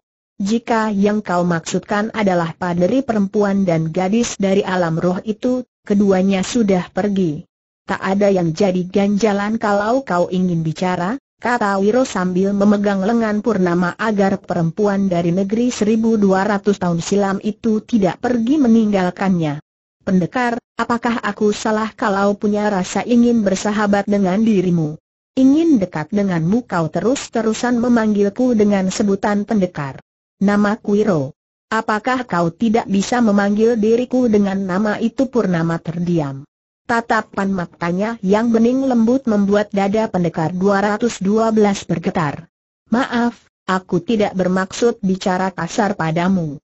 Jika kau ingin bersahabat dan ingin dekat, mengapa tidak memanggil diriku dengan namaku? Atau mungkin kau ingin memanggil aku dengan namaku yang lain? Sableng Purnama tertawa. Kau belum menjawab pertanyaanku tadi. Apakah salah, Wiro menggeleng? Salah bagaimana? Malah aku telah dua kali berhutang nyawa padamu, budi yang kau tanam dalam diriku jauh lebih besar. Kau lupa telah meminjamkan kitab seribu pengobatan padaku? Aku berhasil menyembuhkan putraku sendiri. Selain itu kini aku mempunyai ilmu pengetahuan tentang pengobatan yang sangat luar biasa Aku berjanji untuk mempergunakan ilmu pengobatan itu untuk menolong orang lain, niatmu sungguh terpuji. Kau harus mengetahui jarang bahkan mungkin tidak ada seorang lain pun yang sanggup menghafal isi kitab sakti itu. Purnama tidak berusaha menarik tangannya yang dipegang Wiro sampai akhirnya Wiro sendiri yang melepas pegangannya. Wiro, harap kau mau berterus terang. Apakah kehadiranku telah menimbulkan rasa ketidaksenangan di banyak orang? Misalnya dua sahabatmu yang cantik-cantik tadi. Mungkin aku salah menduga namun tampaknya mereka cemburu padaku, Wiro menggaruk kepala. Bunga sahabat lamaku. Aku tahu hatinya, dia juga tahu hatiku lalu padari muda berbaju merah tadi. Dia sahabat baruku. Sepertimu dia juga telah menolong menyelamatkan diriku, yang aku ingin bicarakan bukan semua sifat baik mereka. Tapi perasaan cemburu sebagai seorang perempuan. Maaf saja, aku sempat mendengar kata-kata gadis bernama Bunga tadi, ucapannya yang mana tanya Wiro. Dia berkata jika kau punya sahabat baru jangan melupakan sahabat lama. Jelas ucapannya itu ditujukan padaku, ah itu, Wiro menggaruk kepala, aku yakin dia tidak bermaksud menyinggung dirimu, mungkin begitu. Gadis bernama Bunga itu bicara apa adanya. Hatinya tulus bicaranya polos, Lalu bagaimana dengan paderi perempuan itu tanya Wiro pula. Dia juga gadis baik. Ilmunya tinggi. Hanya saja, kalau aku boleh tahu, gerangan apa yang membuat dia datang ke tanah Jawa ini dari negeri begitu jauh. Aku menaruh sangka, mudah-mudahan salah. Padri itu membekal segudang rahasia dalam dirinya, yang aku lihat sifatnya kadang-kadang sangat arif. Tapi kadang-kadang juga cepat terpengaruh kurang menyelidik. Jiwa penolongnya sangat tinggi. Entah kalau itu mengandung maksud tertentu seperti katamu tadi, Wiro lalu menuturkan riwayat dadu setan sebagaimana yang didengarnya dari Lon Maniko. Setelah mendengar penjelasan Wiro, Purnama berkata, Aku tidak ingin peduli dan mau tahu urusan orang. Tapi apakah kau tidak melihat kejanggalan? Padri perempuan itu mengatakan padamu bahwa semua tokoh dari daratan Cina yang datang ke Losari adalah anak buahnya. Lalu bagaimana atau mengapa sampai mereka akhirnya mati semua? Yang ditakuti dari dadu setan itu kemampuannya sebagai alat penguras kekayaan atau sebagai alat pembunuh. Lebih lanjut mengapa kau yang dituju dan diharap sebagai orang yang bisa membantu? Apa benar wakil ketua Xiao Lim memerintahkan paderi itu untuk mencari dan mendapatkan dadu setan itu lalu membawanya kembali ke Tionggoan? Lebih lanjut mengapa pemuda muka tengkorak bernama Liok Ong Chun yang sama-sama anak murid Xiao Lim tidak tahu apa-apa perihal dadu setan itu? Untuk beberapa lamanya pendekar 212 Wiro Sableng terdiam dan coba merenungi semua ucapan Purnama akhirnya dia hanya garuk-garuk kepala. Wiro, kau tengah menghadap satu perkara besar. Di balik perkara itu mungkin ada satu rahasia yang bobotnya lebih besar dari kenyataan kasat metu yang kau lihat aku tak pernah ingin berprasangka buruk terhadap orang lain. Namun dalam hidup ini seseorang tidak boleh melupakan unsur kehati-hatian, Wiro merasa walau belum lama mengenal namun Purnama menaruh banyak perhatian atas dirinya. Murid Sinto Gendeng ini kembali menggaruk kepala. Wiro, sewaktu kau memasuki gedung Kadipaten, mengapa tidak menyusup ke dalam dengan mempergunakan ilmu meraga sukma pendekar 212 tersentak kaget. Bagaimana Purnama mengetahui kalau dia memiliki ilmu itu? Purnama, kau sering membuat kejutan. Bagaimana, maksudmu bagaimana aku tahu kau memiliki ilmu langkah tersebut si cantik dari negeri Latana Silam ini tersenyum. Jika aku ingin dekat dengan seseorang, aku ingin tahu dirinya luar dalam, lahir dan batinnya, mengapa tanya Wero Pua? Aku tak ingin berlaku keliru yang bisa membuat retak hubungan. Misalnya seperti kejadian dengan dua perempuan cantik tadi. Mereka lebih dulu mengenalmu. Mungkin mereka menganggap diriku sebagai pengacau atau apalah, Wiro tersenyum dan berkata. Kau gadis baik, ketika tangannya hendak diulurkan membelai rambut Purnama tiba-tiba Wiro ingat sesuatu lalu meraba pinggang. Astaga ada apa tanya Purnama. Kitab seribu pengobatan Purnama terkejut sewaktu berusaha menolong, dua nenek itu mengeluarkan kitab dari balik pinggangku. Lalu kau datang, ya Tuhan. Aku telah berlaku lalai, wajah Purnama berubah pucat waktu melafalkan care pengobatan, kitab aku letakkan di atas pangkuan. Dua nenek sibuk menolongmu.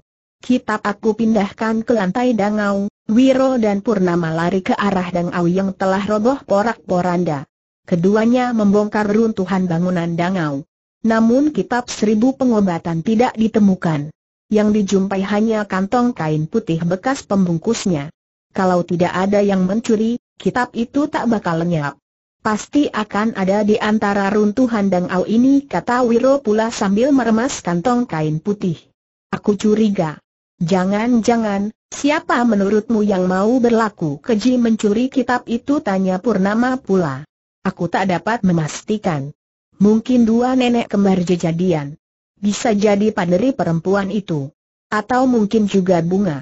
Tapi mereka orang baik semua, Wiro usap-usap dagunya, mungkin juga ada seseorang lain menyelinap mengambil kitab itu ketika kita bertempur menghadapi kakek berjubah hitam gombrong itu Wiro, kita harus mencari kitab itu ke mana kau pergi mencari aku ikuti aku sangat bertanggung jawab atas kelalaianku aku mohon maafmu.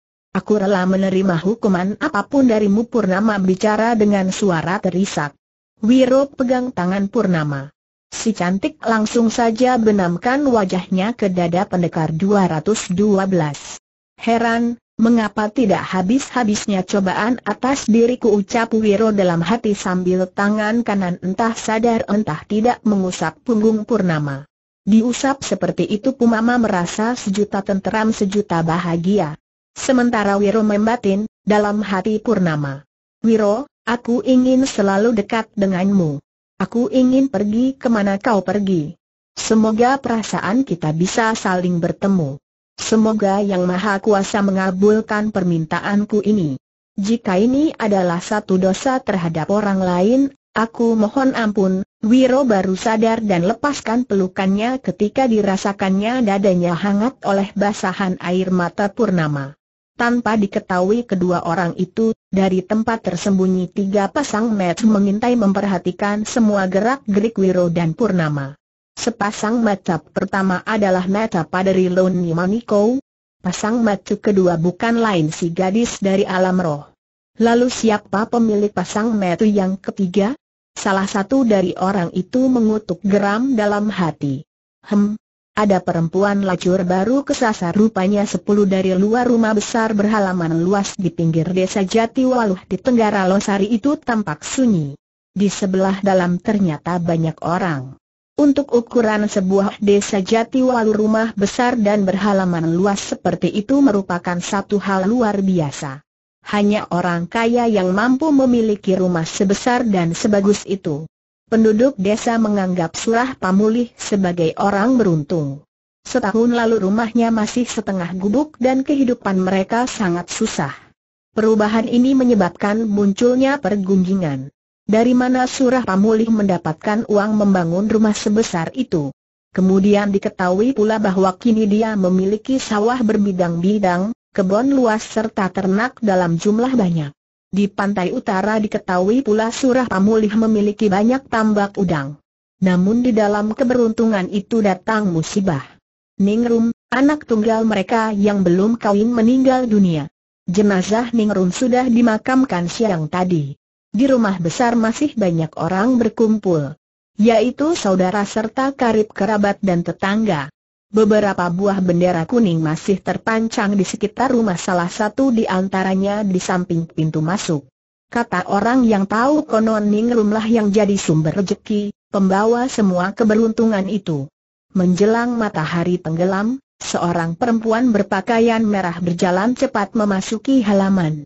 Kepala dan wajahnya ditutup kain merah yang sama coraknya dengan pakaian yang dikenakan.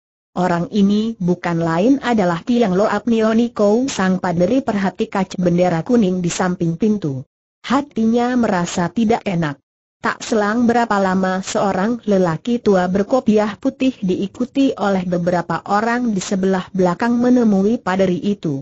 Dia memperhatikan tamu di hadapannya lalu bertanya. Dan Ayu, siapakah? Dari mana ada keperluan apa derajat Lo Nioniko tersenyum mendengar dirinya dipanggil Dan Ayu. Saya seorang paderi.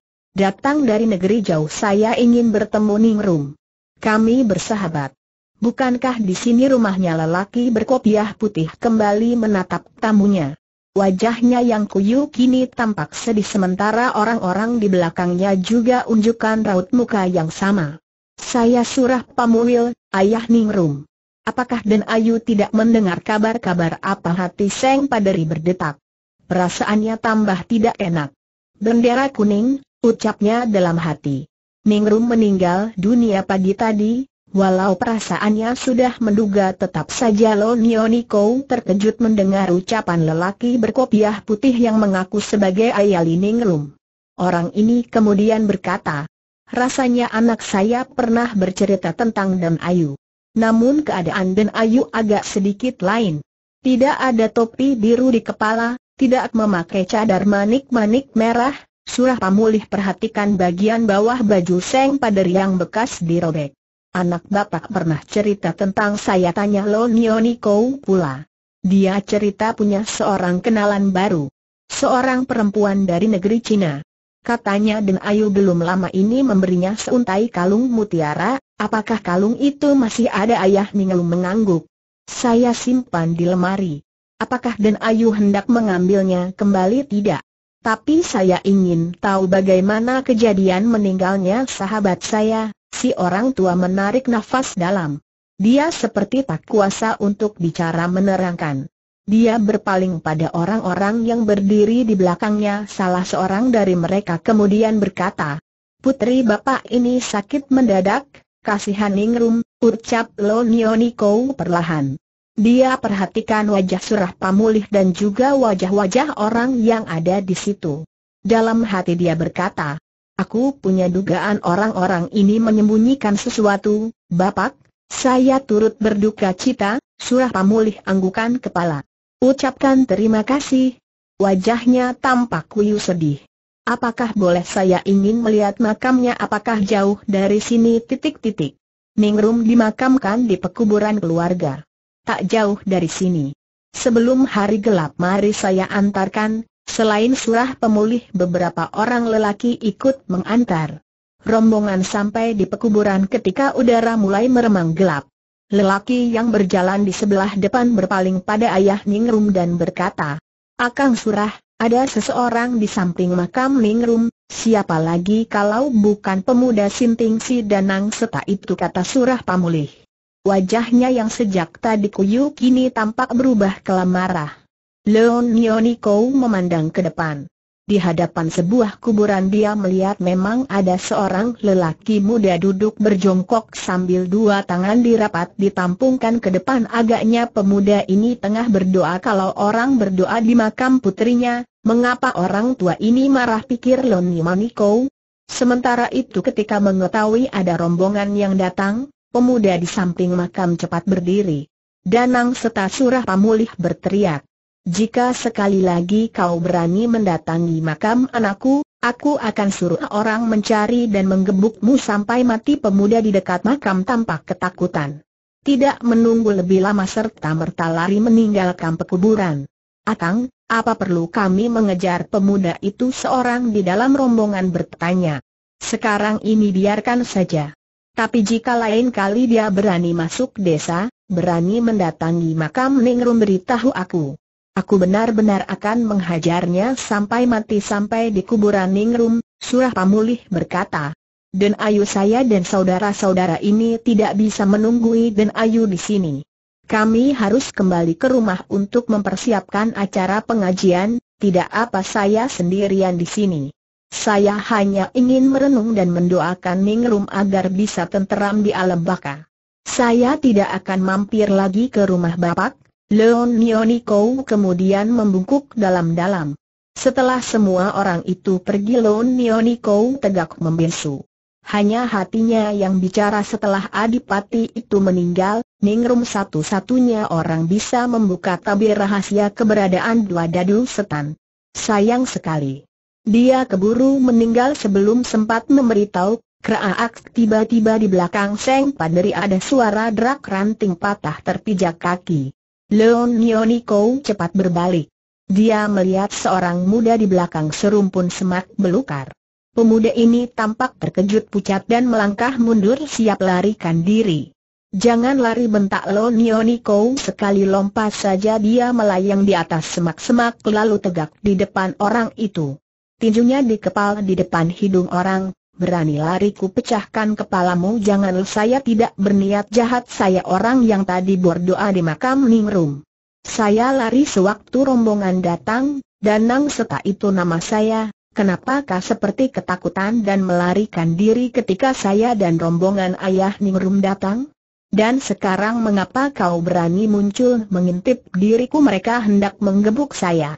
Dulu ayah Ningrum dan karib kerabatnya baik sama saya.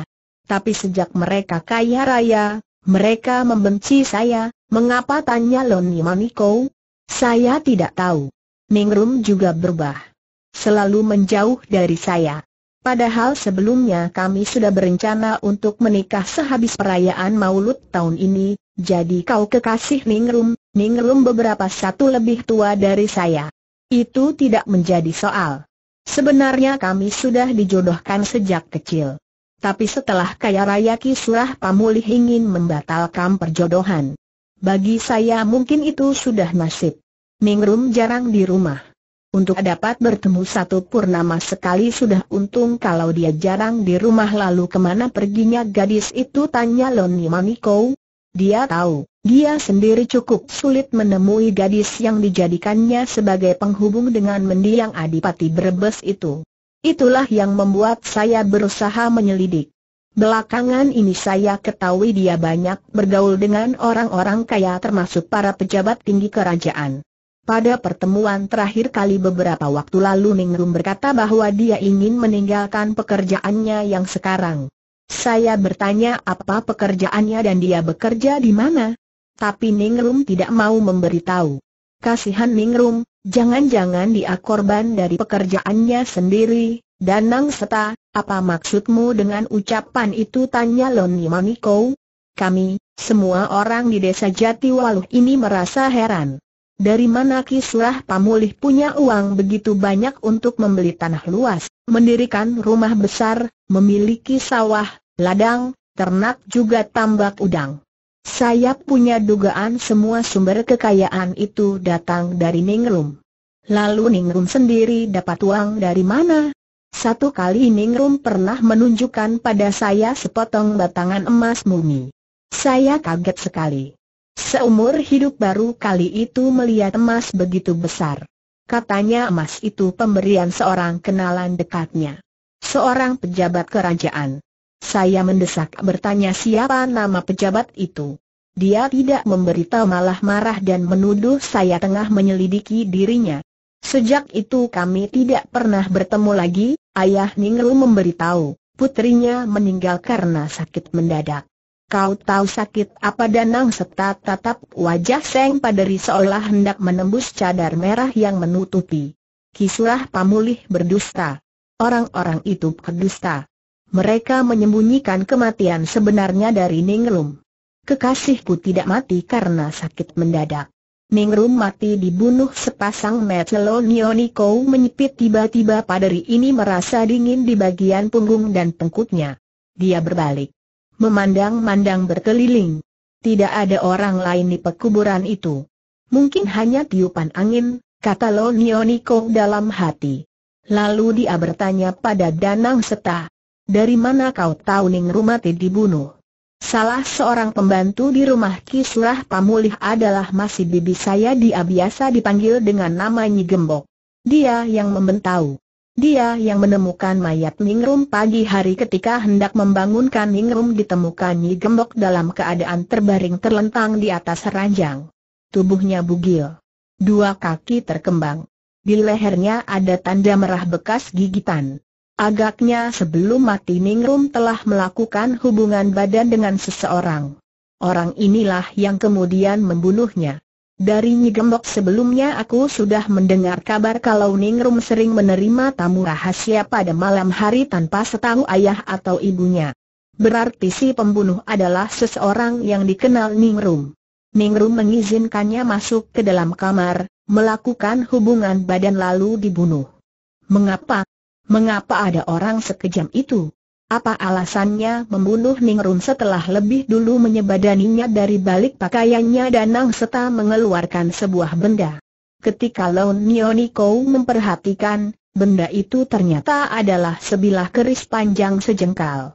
Ada noda darah yang telah mengering pada bagian ujung yang lancip sampai pertengahan badan senjata ini. Keris ini ditemukan Nyi Gembok menancap di leher Ningrum, Leon Nioniko tertegun sesaat bagaimana senjata ini sekarang ada padamu Nyi Gembok mencurinya dari sebuah rak lalu diberikan pada saya seusai pemakaman siang tadi. Kalau begitu saya perlu bertemu dengan Nyi Gembok, Danang seta gelengkan kepala, Nyi Gembok sudah diusir dari rumah besar. Bibi saya dipecat jawab si pemuda. Ada satu hal yang perlu saya beritahu.